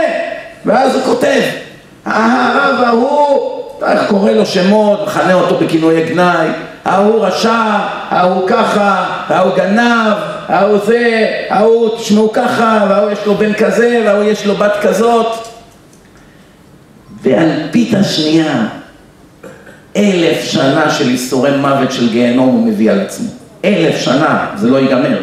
תבינו מה מדובר פה, רבותיי, מי שיקרא מה הולך בגיהנום על דברים כאלה. תגובה אחת באינטרנט נגד מישהו שיש לו זכויות, ואתה אבוד לנצח נצחים. לא תוכל למחוק את זה. עד שלא תרד על ארבע עפר לרגליו, תנשק לו את הרגליים, מבקש לך מחילה. כתוב בתורה את השם אלוקיך תירא, דרש רבי עקיבא, לרבות את התלמידי חכמים. מה אתה חושב, תלמיד חכם זה סתם פרופסור באוניברסיטה שאתה יכול לכתוב עליו תגובות? גם על פרופסור אסור. אבל על התלמיד חכם אתה כותב תגובות באינטרנט? עושה עליו פשקווילים, נהיה אופנה פה. כל אחד שלא מוצא חן בעיניהם, ישר תולים עליו שלטים בכל העיר. טמא, משוקץ, שייגץ, אופנה. לא יאומן, תראו מה קרה פה. סדום ועמורה מה שקורה פה. ומגיע יום הדין, יש למי שבכלל לאו אמינא לבקש מחילה? יש למי שבכלל בא ואומר, שמע, אני מחילה, אני טעיתי, בטיפשותי דיברתי נגדך. זה בודדים, בודדים, שיש להם את האומץ לעשות את זה. מרוב הגאווה, כדי לא לבוא ולהודות, הוא עוד מוסיף חטא על פשע. באים ואומרים לו, איך עשית כזה דבר, נבלה כזאת בישראל? מי אתה בכלל? פעם אחד בא אליי, אומר לי, תגיד, כבוד הרב, מי יותר גדול? חכם עובדיה יוסף או הרב בן ציון אבא שלו? שואל אותי כזו שאלה. אמרתי אני אגיד לך, בשביל לענות לך כזו שאלה, קודם כל אתה צריך להיות מטומטם. זה דבר ראשון. אני משתדל לא להיות מטומטם, אבל נגיד, נגיד שהייתי מטומטם. כדי לענות על שאלה כזאת, אני צריך לכל הפחות להיות קצת מעל שניהם, לא? קצת מעל חכם עובדיה וקצת מעל חכם בן ציון, ואז אני אוכל מלמעלה להסתכל מי יותר קרוב אליי. אני עוד לא עליתי מדרגה אחת בהר שלהם, אז איך אני מפה יענה לך מי יותר גבוה? לא אי אפשר לדעת, צריך מלמעלה לראות. מה עכשיו אנשים, במה מתעסקים? צריכים מאוד, רבותיי, צריכים מאוד מאוד זהירות. יש גם כלל, יש אנשים שהם חוטאים, ויש אנשים שהם חוטאים ומחטיאים. חוטא ומחטיא, זה ליגה אחרת, זה לא אותו דבר רבותיי. זה כמו אחד שהוא זמר במועדון של 50 איש, ואחד שכל שיר שלו הולך ל-80 מיליון איש, זה לא אותו ליגה, מבחינת הכנסות ומבחינת כמה משלמים לו, כן? כולם מבינים את זה. יש למשל בחורות לא מקבילות בכשרות. כל פעם שאוכלת משהו לא כשר, עבירה אחת בשמיים. אכלה, אני יודע מה, לא, לא הקפידה, אכלה משהו לא בסדר, נרשמה לה עבירה אחת. לא התפללה היום, עוד, עוד עבירה נרשמה לה. כל מיני דברים שהיא צריכה לעשות, לא עשתה, נרשמה עבירה פה, עבירה שם, עבירה, עבירה, עבירה, עבירה, בסוף, בסוף, בסוף, כל החיים שלה נרשם לה אולי חמישים אלף עבירות. והנה, אותה אישה יוצאת לרחוב עשר דקות. חולון, בת ים, ראשון, תל אביב, לא משנה איפה, ניו יורק. עשר דקות, כמו שהבחורות פה בארץ מתלבשות, ובכלל בעולם. הרי מאיפה הם למדו להתלבש ככה? מכל התרבות המשוקצת שבאה מחוץ לארץ.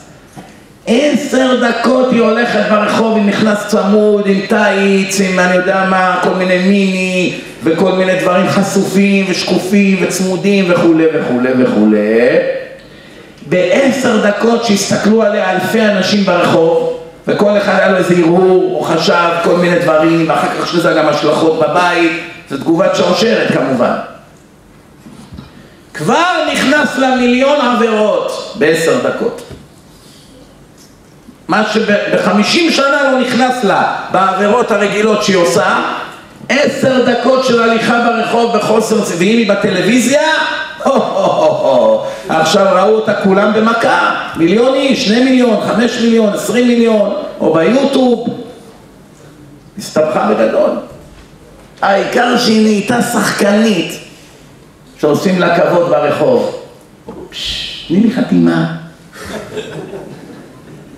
אני מעריצה גדולה שלך. אוי לרשע ואוי לשכנו, תעריצי אותה, שימו אותך איפה שהיא תהיה. למה תוכלי להריץ אותה הרבה? מה אתם חושבים, זה צחוק? מציאות נשים לא יודעות, והגמרא דנה בכל מיני עניינים של בנות, של בנות ישראל. יש שם אחד הדברים, ראיתי פעם, שיש שאלה עכשיו, אז היו גרים בשכונות בצורה של חטא, מבוי. ובאמצע היו מחנים את ה-BMW, את המרצדס, את האאודי. במקום זה היה גמלים, סוסים, חמורים, כל אחד לפי החול, זה יש לו סוס בן שנה, זה סוס, סוס בן שבעים, כל אחד לפי ההכנסה שלו, כן? בקיצור, אחד הדברים שאנשים היו צריכות זה לעשות כביסה. אז היו צריכים לחפור בור בחצר, שהיא חצר משותפת לכל השכנים, לשים קצת טיח שם, להביא מים מהבאר, לשים שם בורית, היה בורית שהיא כמו סבון, ככה של פעם, כמו הסינטבון של צה"ל, עושה לך חתכים בכל הגוף, למרות שכתוב לא יהיה בך שרטת, אלה שייצרו סינטבון לא חשבו על הפסוק הזה. חותך לך את כל הגוף, היו כאלה סבונים פעם. ואז מה, הסבון כביכול מנקה את הבגדים. עכשיו השאלה היא כזאת, לא כל אחד יכול לעשות מה שבא לו בחצר. צריכים רשות מהשכנים. מה קורה עכשיו, אישה עשתה בור בזה, עשתה שם כביסה. האם היא נכשלה פה בגזל או לא, מהשכנים? הייתה צריכה לבקש רשות. האם בכלל היא צריכה לבקש רשות? מסקנה להלכה, לא. למה? כל דבר אחר, היא רוצה לשים שם עוד גמל, היא חייבת רשות מהשכנים. היא רוצה לתת שם לתרנגולים ללכת, היא צריכה להגיד לשכנים. היא צריכה לשים שם איזה מחסן, נגיד לשבועיים, צריכים רשות מהשכנים. עד היום זה ככה. רוצה לעשות מכבסה? לא מבקשת רשות מהשכנים. למה? היעלה על הדעת שבת ישראל תלך לעשות כביסה בנהר, איפה שעוברים שם גברים על סוסים, חמורים. מה, היא תתכופף ככה ותעשה כביסה ואנשים יעברו ברחוב ויראו אותה? מתכופפת? בנהר? אבל ריבונו של עולם, איזה בגדים היא לובשת? כמו אוהל. מה רואים? רואים מין משולש כזה, כמו אוהל, מה רואים? זה לא כמו היום הכל צמוד לגרות את היצר הרע. זה נשים מאוד צנועות היו לפני אלפיים שנה. אני שמתי תמונה בדף שלנו אה, בשנת 1900, תמונה מחוף הים של הגויים. כל הנשים שם לבושות כמו סופר סופר סופר רבניות. כאלה שמלות כמו של החתונות של פעם, ברוחב של השולחן. עד לכאן, מכוסות מכף רגל לראש, כיסוי ראש, כובעים ומטריות. חוף הים. יותר צנוע מהרחובות הכי קדושים בעולם היום. של גויים, לפני מאה שנה. אז תארו לכם לפני אלפיים שנה איך בחורות היום מתלבשות. לא צריך, תסתכלו על הסבתות שלכם, תגידו לי אם אני טועה או לא. ואף על פי כן, לבושה בצניעות והכל לפי כל הכללים והכל, לא ניתן לה ללכת למקום פומבי שעוברים שם גויים על סוסים, שיראו איזה יהודייה עושה כביסה בנהר. עדיף שיישאר פה בשכונה, מאשר היא תלך למקום של פרהסיה. קל וחומר, איך שמתלבשות היום ואיך שהולכות ברחוב. בקיצור, מיליארדים של עבירות כל חודש, וכמעט ואין פוצה פה. נהיה מודה, נהיה מודה. קעקועים. כמעט כל בן אדם שני פה במדינה עשה קעקועים. כשאני הייתי ילד, אף אחד לא היה לו קעקועים, רק כמה עבריינים. זהו. רק כמה עבריינים היה להם קעקוע. מי שהיה לו קעקוע לפני 40 שנה היה עבריין. לא היה מציאות של אופנה, כל אחד מקשקש כל מיני קשקושים, מתוך הריקנות שלו. מרוב שהוא ריקני מבפנים, הוא כל הזמן צריך להבליט את החיצוניות. אדם שהוא מלא בתורה ודרך ארץ ויראת שמיים וקדושה, הוא צריך להבליט את עצמו. והנה עכשיו הרבה מהאנשים האלה חוזרים בתשובה, מתחרטים על הקעקועים. מה יעשו? יש פה בעיה. אמנם קעקוע, העבירה היא רק בזמן שעושים אותו. אחרי שהוא כבר על הגוף, נגמרה העבירה, זהו. זה מה שנשאר, מה נעשה? אלא מה? יש כאן מימד של חילול השם. חילול השם. עכשיו נהיה לך כיפה, נגיד ציצית, חלק גידלו זקנים, פאות, נכנסים במקווה, רואים אותם ילדים חסידים, טהורים, תמימים, שבחיים שלהם לא טעמו מן החטא. הוא בא למקווה, הילד הזה, הוא רק נהיה בן 13 אתמול, בא לטבול, הוא רואה אותו, כל הגב שלו קעקועים, והילד הזה אומר, אה, למדנו בתלמוד תורה שאסור לעשות, איך יכול להיות שיהודי עשה נגד השם קעקוע על הגוף? לא יהיה בך כתובת קעקע. מי שעשה במקומות שאפשר להחביא עם הבגדים, אשריו. לפחות היה לו רק עבירה אז, אבל אין לו חילול השם. אבל מי שעשה בפנים, כל האלה שעושים בפנים, כל הידיים, כל מקום שהוא הולך, יש אצלנו אחד בישיבה, אנחנו הולכים בימי שישי שם לשחק כדורגל קצת, כי כל השבוע אין לנו זמן לעשות ספורט, הולכים כמה שעות לפני שבת, שעה רצים, מורידים איזה 100 גרם, משמינים בשבת 5 קילו, וככה הולכים ברוורס כבר 20 שנה. אבל מה, הרמב"ם אומר פעם בשבוע לעשות ספורט, אנחנו הולכים, יש לנו איזה מגרש, מקום שקט, מבודד, רק, רק הבחורים של הישיבה, טוב. ואני רואה שם איזה אחד, חום אימים, כמו פה, לחות, אני יודע מה, 32 מעלות, הוא בא עם טרנינג, טרנינג ארוך, רפה כזה, כותנה. אני אומר לו, מה זה אתה? אתה קיבלת על עצמך איסורים, עוד מעט תשים שק. אומר לי, לא, לא, יש לי כזה קעקוע גדול על השוק. חילול השם, בושה. הבנתם? עכשיו כל החיים שלו צריך ללכת עם טרנינג, רוצה לבוא למקום, רוצה לבוא פה לים של הדתיים, לא יכול, מתבייש. שמעתי אבל עכשיו שהמציאו איזה משחה, לא רק לייזר, משחה, שמים את זה, השם מרחם על הבעלי תשובה, רואה יש פה אלפים, אלפים. אני פעם הלכתי למודיעין לדבר, באמצע הלילה זה היה, היה סליחות וזה. אז הרב שם לחש לי, עוד הרב יש פה מגפה, אחד פה פתח מקום של קעקועים, כולם פה אחד אחרי השני, תדבר על זה. דיברתי על זה, מה זה חזק, מסכן ההוא. מצטער על היום שהוא נולד. אבל לפחות זה יצא מזה משהו. באו אליי אחרי זה הרבה אנשים, הצלת אותי. עמדתי לעשות קעקוע, הצלת אותי. עוד פעם, הקעקוע זה כמו שאכלת חזיר. זה איסור דאורייתא, זה איסור דאורייתא, חד פעמי, זהו. כשאכלת חזיר, אין אחר כך חילול השם שלושים שנה. זהו, אף אחד לא יודע מזה, אכלת, נגמר. עכשיו כשאתה מסתובב עם הכתר הזה בכל מקום בתור יהודי, חילול השם כל העולם. למה אתה לא חושב על זה לפני שאתה עושה? הרבה מהם בחיים שלהם לא קראו תורה, לא ידעו. לא ידעו מה הולך פה. יש עוד דברים, רבותיי, רבותיי, תשמעו טוב. בן אדם, כתוב ארבע כתות אינם רואות פני שכינה. אחד מהם זה כת חנפנים. כת חנפנים. מה זה כת חנפנים? להתחנף לאשתך מצווה. יש דברים שמצווה להתחנף. תחנף אל הרב מצווה. שיקבל אותך, שילמד אותך. אבל עכשיו יש כאלה שזה נהיה אורח חיים אצלם החנופה. מתחנפים לכל הרשעים. הם דתיים, מתחנפים למחללי שבתות, להומואים שגרו פה בשצף קצף בכל פינה. מה אתה מתחנף לרשע הזה בכלל? כל שנייה בחיים שלו הוא מורד בהשם, מה אתה מתחנף אליו? מה אתה צריך? לא אמרתי לך לך תרביץ לו מכות, לא אמרתי לך לקלל ולבזות אותו, אבל אתה יודע שהקדוש ברוך הוא אמר שהאנשים האלה אין להם בכלל זכות לחיות. אם היה סנהדרין הם לא היו שורדים, היו מוציאים אותם להורג. שמורדים בכל חוקי הטבע של בורא עולם. זה כבר לא עניין דתי, כמה פעמים הסברתי את זה. כל העניין הזה של המשכבי זכר, לפני שבכלל מדברים על דת, תשכח רגע מהשם, תשכח מהתורה, תשכח מהכל. רק בתור בני אדם, עם אנשים עם היגיון, יש לעולם הזה בורא? ודאי, כל טיפש מבין. עזוב עכשיו יהדות, גוי בסין, גוי. הוא עכשיו רואה העולם הזה מתוחכם מאוד, מופלא. מוחות, אנשים, שכל, זיכרון, כל מיני דברים. עכשיו, מה קורה? לעולם יש בורא, ודאי. העולם ברא את כל העולם, הבורא עולם ברא את כל העולם לפי זוגות. יש שני מיליון סוגי בעלי חיים בטבע. בכולם יש זכר ונקבה, זכר ונקבה, בכל השני מיליון משפחות. אין באף מין בטבע שני זכרים או שני נקבות, אין כזה דבר.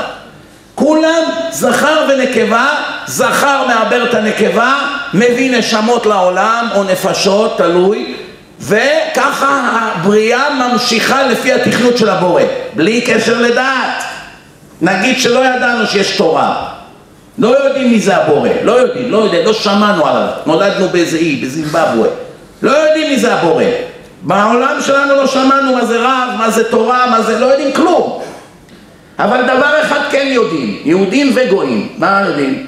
הבורא ברא עולם? כן. יש לו תכנון לעולם? כן. הוא רוצה שככה העולם יתנהל? כן. בלי קשר לדת. אלה שעושים הפוך מהסדרים שהוא קבע בעולם ונגד חוקי הטבע, מורדים בבורא. בלי, עוד פעם, לא מדבר על דת בכלל. עכשיו תבוא ותפתח את התורה ותראה מה כתוב שם. מה אתה סימפטי אליו? מה אתה מתחנחן אליו בכלל? צריך להיגאל לשבת לידו בכלל. מה, האנשים האלה מורדים בקדוש ברוך הוא? מה אתה חושב, זה צחוק? מה, אני אשאל אותך שאלה, אם עכשיו אבא שלך היה הולך ברחוב והיה בא אחד מהשכונה וכל פעם יורק לו בפרצוף, זורק עליו אבנים, היית מוכן לשבת לידו?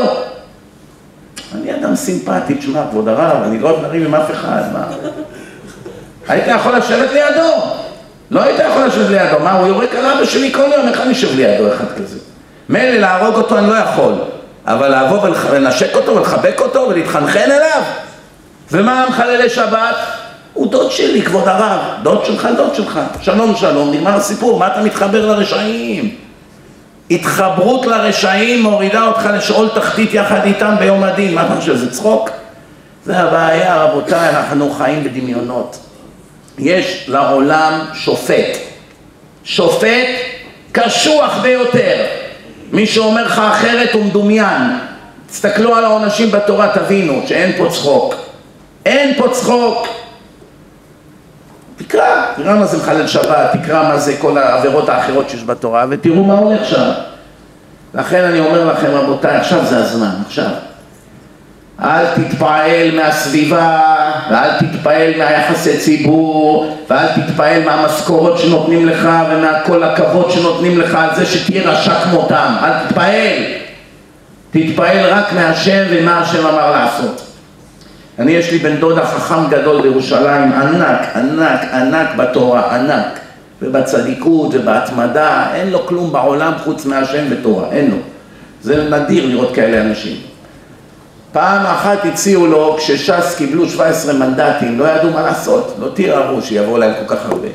אז הוא היה מלמד אצל הרב אלבז בירושלים, הוא היה מאוד כריזמטי, אדם חריף, גאון מאוד, כוח, כוח של דיבור יש לו. אז באו אליו, לרב אלבז, אמרו, תשמע, אנחנו בנינו על מקסימום עשרה מנדטים, קיבלנו 17. עכשיו צריכים לאייש עוד 17 כיסאות בכנסת. אין, לא, לא, אין לנו אנשים, צריכים אנשים מבריקים. מה יש לי בשבילכם אחד? זה, אם הוא ידבר פעם אחת שם, המדינה תזדעזע, מרוב שהוא ענק. באו אליו, שלום כבוד הרב, רוצים לתת לך תפקיד סגן שר. יהיה לך אוטו וזה. מה הוא אמר? מה הוא אמר? לא קיבלתי עלבון כזה בחיים שלי. אמרו לו משכורות, עניינים, משכורות, עניינים. לא קיבלתי עלבון כזה בחיים שלי. למה? הוא שקוע בתורה, דבוק בהשם. הוא צריך, הוא צריך את, ה, את הכבוד הזה ואת הכסף, ושייתנו לו מכונית, ושיסיעו אותו, הוא צריך את הדברים האלה. מי ששקוע באמת, הוא לא צריך את השטויות האלה. מי שהוא בקושי נוגע באמת, אז הוא צריך תחליפים. יהי רצון בעזרת השם, אם יש כאן שאלות על מה שדיברנו, על מה שלא דיברנו, אולי ניתן כמה דקות לשאלות, כן.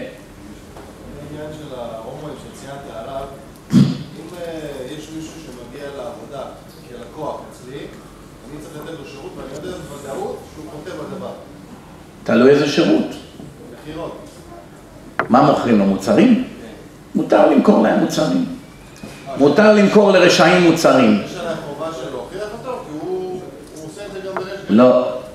אתה יכול לתת לו דיסק, תגיד לו, יש פה איזה דיסק מעניין, תשמע. אין לדבר סוף, לצערנו הרב יש מיליונים כאלה בעולם. מה, תתחיל עכשיו עם כל אחד לפתח שעה שיחה, זה אין לדבר סוף. אבל לתת דיסק כדאי, יש פה דיסק מעניין, תשמע. לפעמים זה עוזר, כן. שאם אתה אומר לא, לא, לא להתקרב אליהם, מצד שני צריך לקרב אותם. תראה, מה זה לק- לקרב אותם? לקרב אותם כל עוד אתה לא מוריד את עצמך. אוקיי, אז אתה יכול לקרב אותם. אם אתה יודע לדבר, מי שיודע לדבר ויודע למשוך אותם בלשונו, יש לו כישרון דיבור, שידבר איתם. מי שלא יודע לדבר, עזוב, אל תיכנס לדברים שאתה לא יודע, הוא יתקיל אותך בכל מיני קושיות, תצא פראייר. תגיד לו, בוא לשיעור של רב כך וכך. לא, אני לא בשבילי שיעורים, לא בשבילי, תביא, תגיד לו, הנה, קח, תצפה בדיסק הזה. תשמע את הדיסק הזה.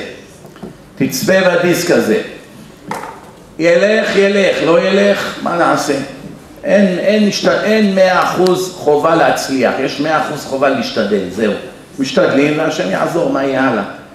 עוד שאלות? כן. שאלה כזאת, לדוגמה מישהו במשפחה חוזר בתשובה. האחים, ההורים, קשה להם, לא שקשה לקבל את זה, אבל יש איזשהו מרחק. איך מתמודדים עם כזה דבר? תראה, אני אגיד לך, אחת הבעיות של הבעלי תשובה, מרוב ההתלהבות, הם נוחתים קשה מדי על ההורים שלהם. האוכל שלכם ככה, והצלחות ככה, ואתם ככה, ואתם חללי שבת, ומה אתה מדליק טלוויזיה, אף על פי שהם צודקים בהכל. אבל אה, אתה יודע, יש דברים שאתה יכול להיות צודק ולהגיד, אבל אף אחד לא שומע אותם. הם לא כלי קיבול גם, זה הבעיה, הם לא כלי קיבול. לכן, קודם כל צריך מאוד מאוד בעדינות. צריך לאכול את הלב בשקט, שהוא רואה מה ההורים שלו עושים ומה האחים שלו עושים. שורף את הלב, כי עכשיו הוא מבין שזה עבירות, עד עכשיו הוא לא הבין שזה עבירות. וצריך יותר לתת להם לראות דברים, דיסקים, יש סרט, תורה ומדע, בוא, תראה אבא, תראה, זה סרט מעניין מאוד. אבא, בוא תראה סרט חיים אחרי המוות, מאוד מעניין, זה מוכיח. מתוך הדברים האלה הם מתחילים להימשך. זה השיטה איתם. ואם לא, איך אומרים, אם רק דייך, דייך שנותנים לך להיות ירא שמיים, לשמור מצוות, גם זה נס בדור הזה. כי יש אנשים שהם לא נותנים להם. נלחמים איתם מלחמת חורמה שירדו חזרה. לא מוכנים. היה פה פעם איזה פרופסור מילר, מנתח מוח. לפני איזה 15 שנה פרסמו רעיון בעיתון איתו. והבן שלו חזר בתשובה. והכתב אמר לו, אתה נשמע כל כך ממורמר שהבן שלך חזר בתשובה, שמדבריך משמע שאם הבן שלך היה מדרדר לסמים קשים, פחות היית לוקח את זה קשה. מה הוא ענה? בוודאי. עדיף לי שהיה נרקומן מאשר יחזור בתשובה. זאת אומרת, מנתח מוח. תשים את המוח שלך בידיים של האדם הטמא הזה. זה המציאות, אתם מבינים? יש כאלה הורים גם כן, חסרי שכל, מה נעשה? או בורים ועמי ארצות, בחיים לא למדו תורה. לך תתחיל לריב איתם על כל דבר, אין לדבר סוף, בסוף יזרקו אותך מהבית, כל, כל הבית יתפרק. אם אתה יכול ללכת לישיבה, פנטסטי, נפתרה הבעיה. אתה יוצא מהנוף שלהם, אתה בישיבה, מדי פעם תיתן להם דברי תורה וזהו. או למדרשייה. ואם לא, תתאפק עד שתוכל להתחתן, תצא משם, תציל את עצמך, חייך קודמים. אין מה לעשות. רבותיי, גם כאן אנשים שעובדים בעבודות מסוימות פה בארץ, לא כל העבודות כשרות. יש עבודות שהן לא כשרות. למשל, יש עבודות שמחייבות אותך לחלל שבת. בעד כל הון שבעולם אסור לעבוד בעבודה כזאת. יש עבודות שמחייבות אותך לרמות, קליינטים שבאים לשקר אותם, לתת להם מוצרים שהם לא נכונים בגלל שככה הבוס דורש. יש עבודות של טלמרקטינג, שאתה מתקשר לאנשים ומוכר להם שירות, וזה הכל מבוסס על שקרים. יש חנויות שאתה עובד שם, לא אומרים לך לשקר, אבל אתה כבר יודע שהבוסים שם הם רמאים גדולים, והם אף פעם לא מקיימים את מה שמבטיחים, ושיש בעיות עם המוצר, הם אף פעם לא מחליפים, אסור לעבוד של אנשים כאלה. מה אתה, הוא החזית, אתה משתף פעולה עם רשעים. כל אדם צריך לבדוק, כל אדם צריך לבדוק מה הוא עובד, כי אם הפרנסה שלך באה ממקום כזה טמא והכל על דם של יהודים אחרים, בסוף יגבו ממך את הכל עם ריבית דריבית. מה אתה רוצה? אתה רוצה לעבוד 30 שנה ובסוף תצטרך להחזיר את הכל? מה אתה חושב? זה צחוק? לכן עדיף לפעמים להרוויח פחות, מאשר, לא לפעמים, ודאי, תמיד, להרוויח פחות מאשר לעבוד בעבודה שהיא נגד ההלכה. עוד דבר לפני שאני אשכח, ברוך השם אנחנו בתהליך שפותחים כאן מרכז ברמת בית שמש לתמיכה בבעלי תשובה. ברוך השם יש לנו המון בעלי תשובה, המון, כמויות אדירות, אבל אין לנו את היכולת לטפל בהם. אחרי שהם חוזרים בתשובה הם צריכים טיפול לפחות לכמה חודשים. חלק אנחנו מצליחים להכניס בישיבות, חלק אין לנו גישה אליהם יותר. הם נשארים עכשיו לבד, הם גרים באיזה מקום, הם לא יודעים איך שומרים שבת, הם לא יודעים מה זה ציצית, לא יודעים איך קונים ציצית, כלום לא יודעים. הם צריכים מישהו שיתמוך בהם. אז אנחנו פתחנו מרכז, וכמו שאתם רואים פה בשלט, זה המספר, כל אחד מכם בבקשה ישלח הודעת אס.אם.אס או וואטסאפ למספר הזה, עם השם שלכם. תיכנסו למאגר. כל פעם שתצטרכו איזה תמיכה, משהו בשבילכם, בשביל מישהו שאתם מכירים, איזה מישהו שמתקרב, יהיה לכם כתובת לשלוח אותו, שם יהיו אברכים ובחורות שיודעות לדבר עם בחורות, שידעו לענות על כל, להשיב מענה על כל דבר ודבר, שומעים? ידעו להגיד לך על הכל, ידעו להגיד לך, הנה אתה גר ברחוב זה וזה, לך לבית כנסת כך וכך. אנחנו נפנה אל הרב, יקבלו אותך שם, יכניסו אותך לשיעורים, מה שיש. אחד רוצה ללכת לישיבה, איפה אתה, באיזה מקום אתה גר, איזה סוג של בחור, צריכים להתאים את הדברים האלה, כן? כשרויות, יש פה בלאגן גדול פה, אף אחד כבר לא יודע פה מה כשר, מה לא כשר. כל אחד אומר אחרת, זה מתווכח עם ההוא, זה אומר זה לא טוב, זה אומר... מישהו שיהיה לך, שיוכל לענות לך על שאלות, איך הם ידעו המסכנים האלה? באים לחנות הזאת, אומרים לו, מה קנית משם? באים לשם, מה קנית משם? שיגעו אותם. אומרים, בוא'נה, איך אני אהיה דתי? מה זה, זה בלבול רציני, אני לא יודע מה לעשות, כן? האנשים האלה צריכים תמיכה, בקיצור. לכן זה חשוב מאוד. לא מבקשים מכם תרומות, לא מבקשים מכם כסף. מה כן רוצים? שתירשמו, שתהיו כבר עם מקום שיתמוך בכם. כל מי שמתחזק. וגם תיתנו את המספר הזה על השלט לכל מי שאתם מכירים, אם זה בעבודה, אם זה בשכונה, אם זה במשפחה. זה חשוב מאוד. התמיכה לפעמים מועילה יותר מעצם ההחזרה בתשובה עצמה. כי אם אתה מחזיר זה כמו למלא דלי ואחרי חודש הוא יורד והוא חוזר לסורו, מה? הוא לא יודע עכשיו מה לעשות, הוא מתייאש.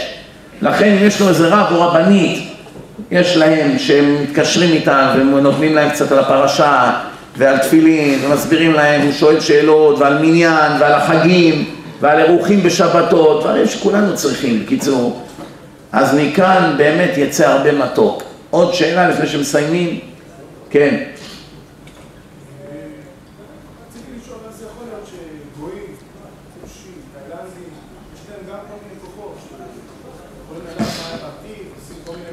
גויים יש להם כוחות בגלל שהשם רוצה שיהיה איזון בין כוחות הקדושה לכוחות הטומאה, וכבר רואים את זה בתורה.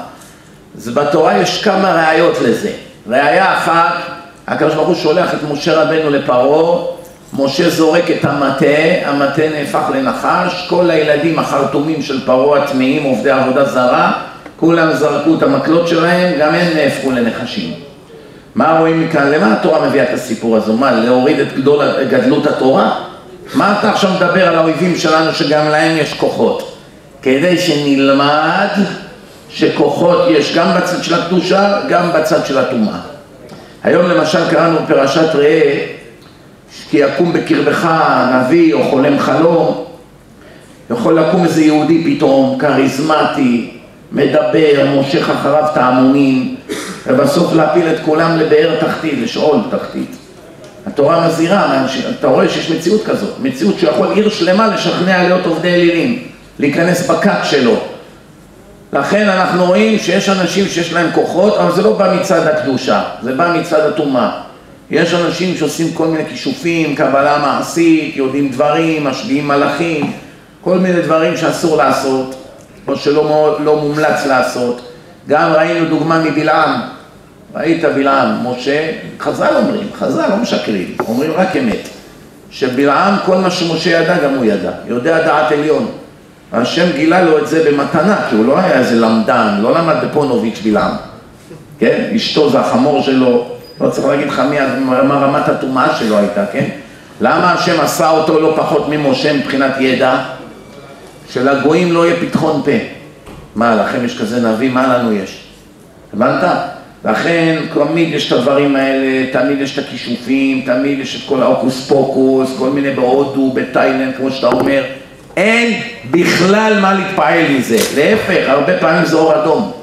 כשאתה שומע על אנשים שיכולים לעשות את הדברים האלה, אם אתה רואה מיד שהם לא אנשים צדיקים, עם יראת שמיים, למדני תורה וכולי, מיד אתה יודע שהם כוחות הטומאה. יש לו איזה קוקוס, ערות, עגילים, איך זה נהיה גורו פתאום, אומר לאנשים דברים וכולי, רק מכוחות הטומאה. וגם האנשים האלה, אם נראה לפעמים שהם עוזרים, העזרה הזאת עוד תעלה בסוף ביוקר. להתרחק מהם, תמים תהיה מה שהם לוקחה, כן?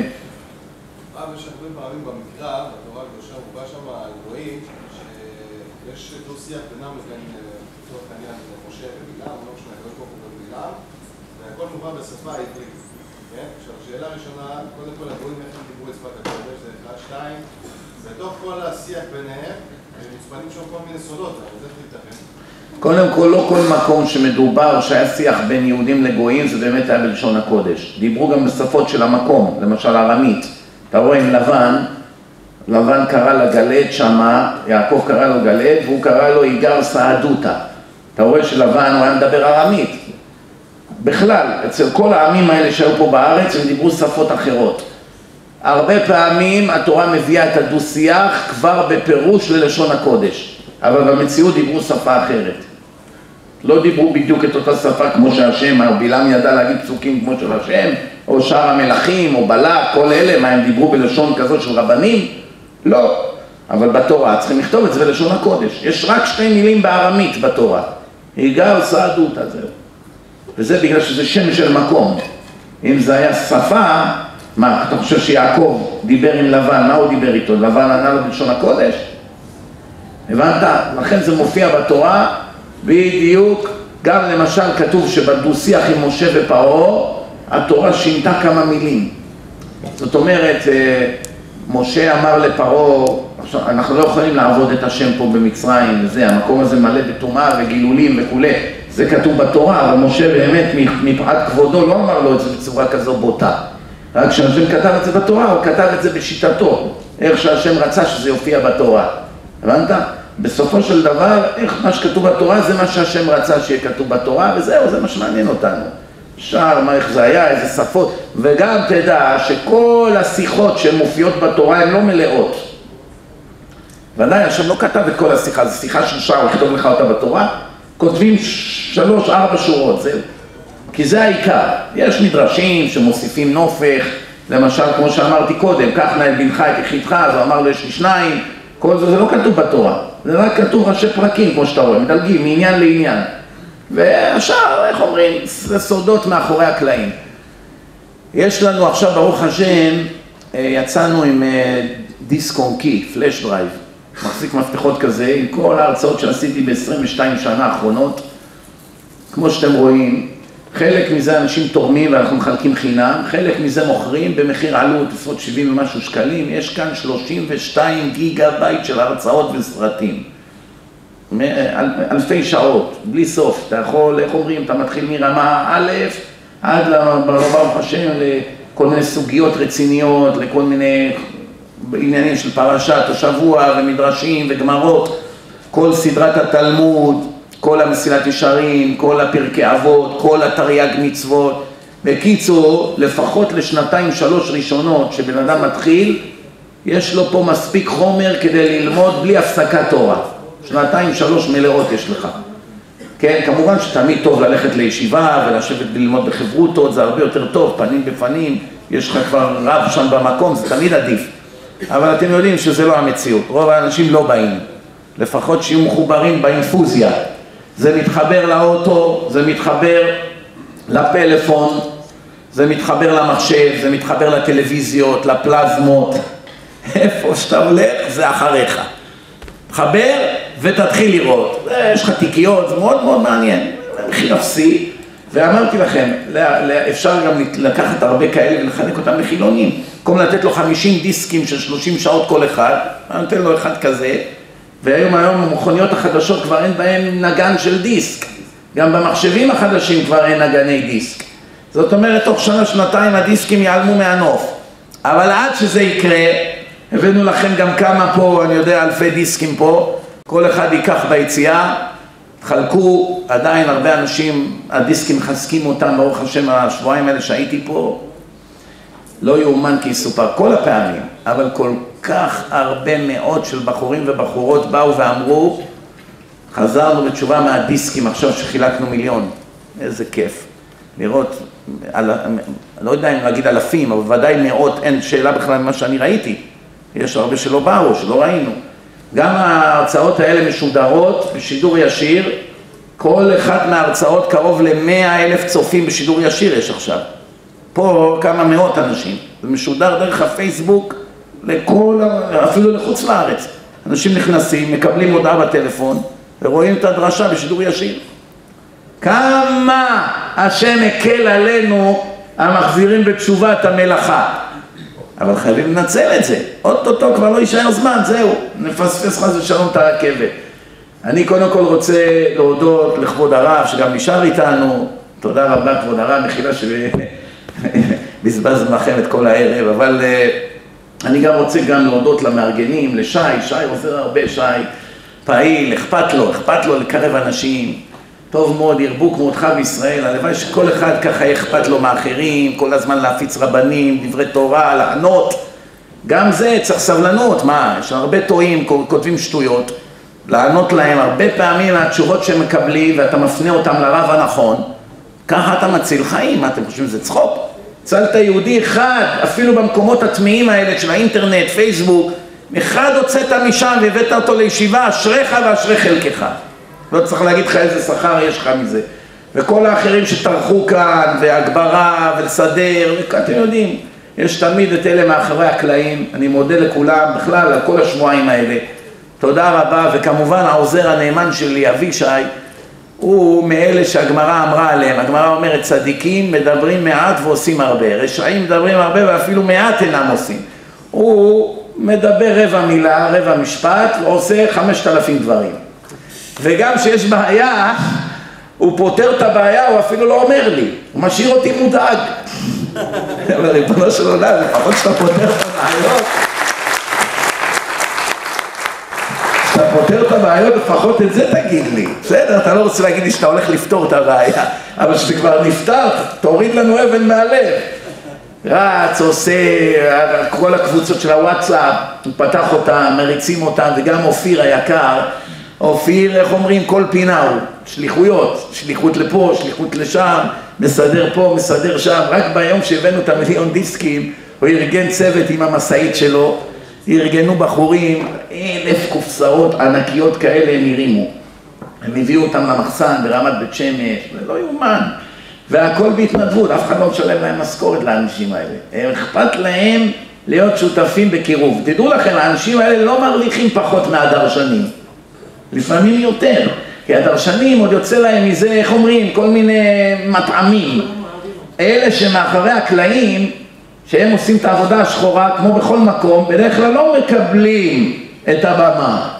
אבל הם בשמיים יש להם מחלקה מיוחדת שעושים לא על מנת לקבל פרס, אלא מה? על מנת שעוד יהודי יתקרב לאבינו שבשמיים. כל אחד, אני רוצה שכמה שיותר אנשים ייכנסו ויעזרו פה לרבנים ולמקרבים ולכל מיני ארגונים של קירוב, רק ככה נשלים את המהפכה. תודה רבה לכם, חודש טוב, שבוע טוב, כל טוב. ברוך אדוני לעולם, אמן ואמן. רבי חנניה בן הקשה אומר, רצה הקדוש ברוך הוא לצדקות ישראל, לפיכך ירבה להם תורה ומצוות שנאמר, אדוני חפץ למען צדקו יגדיל, תורה ויאדיר.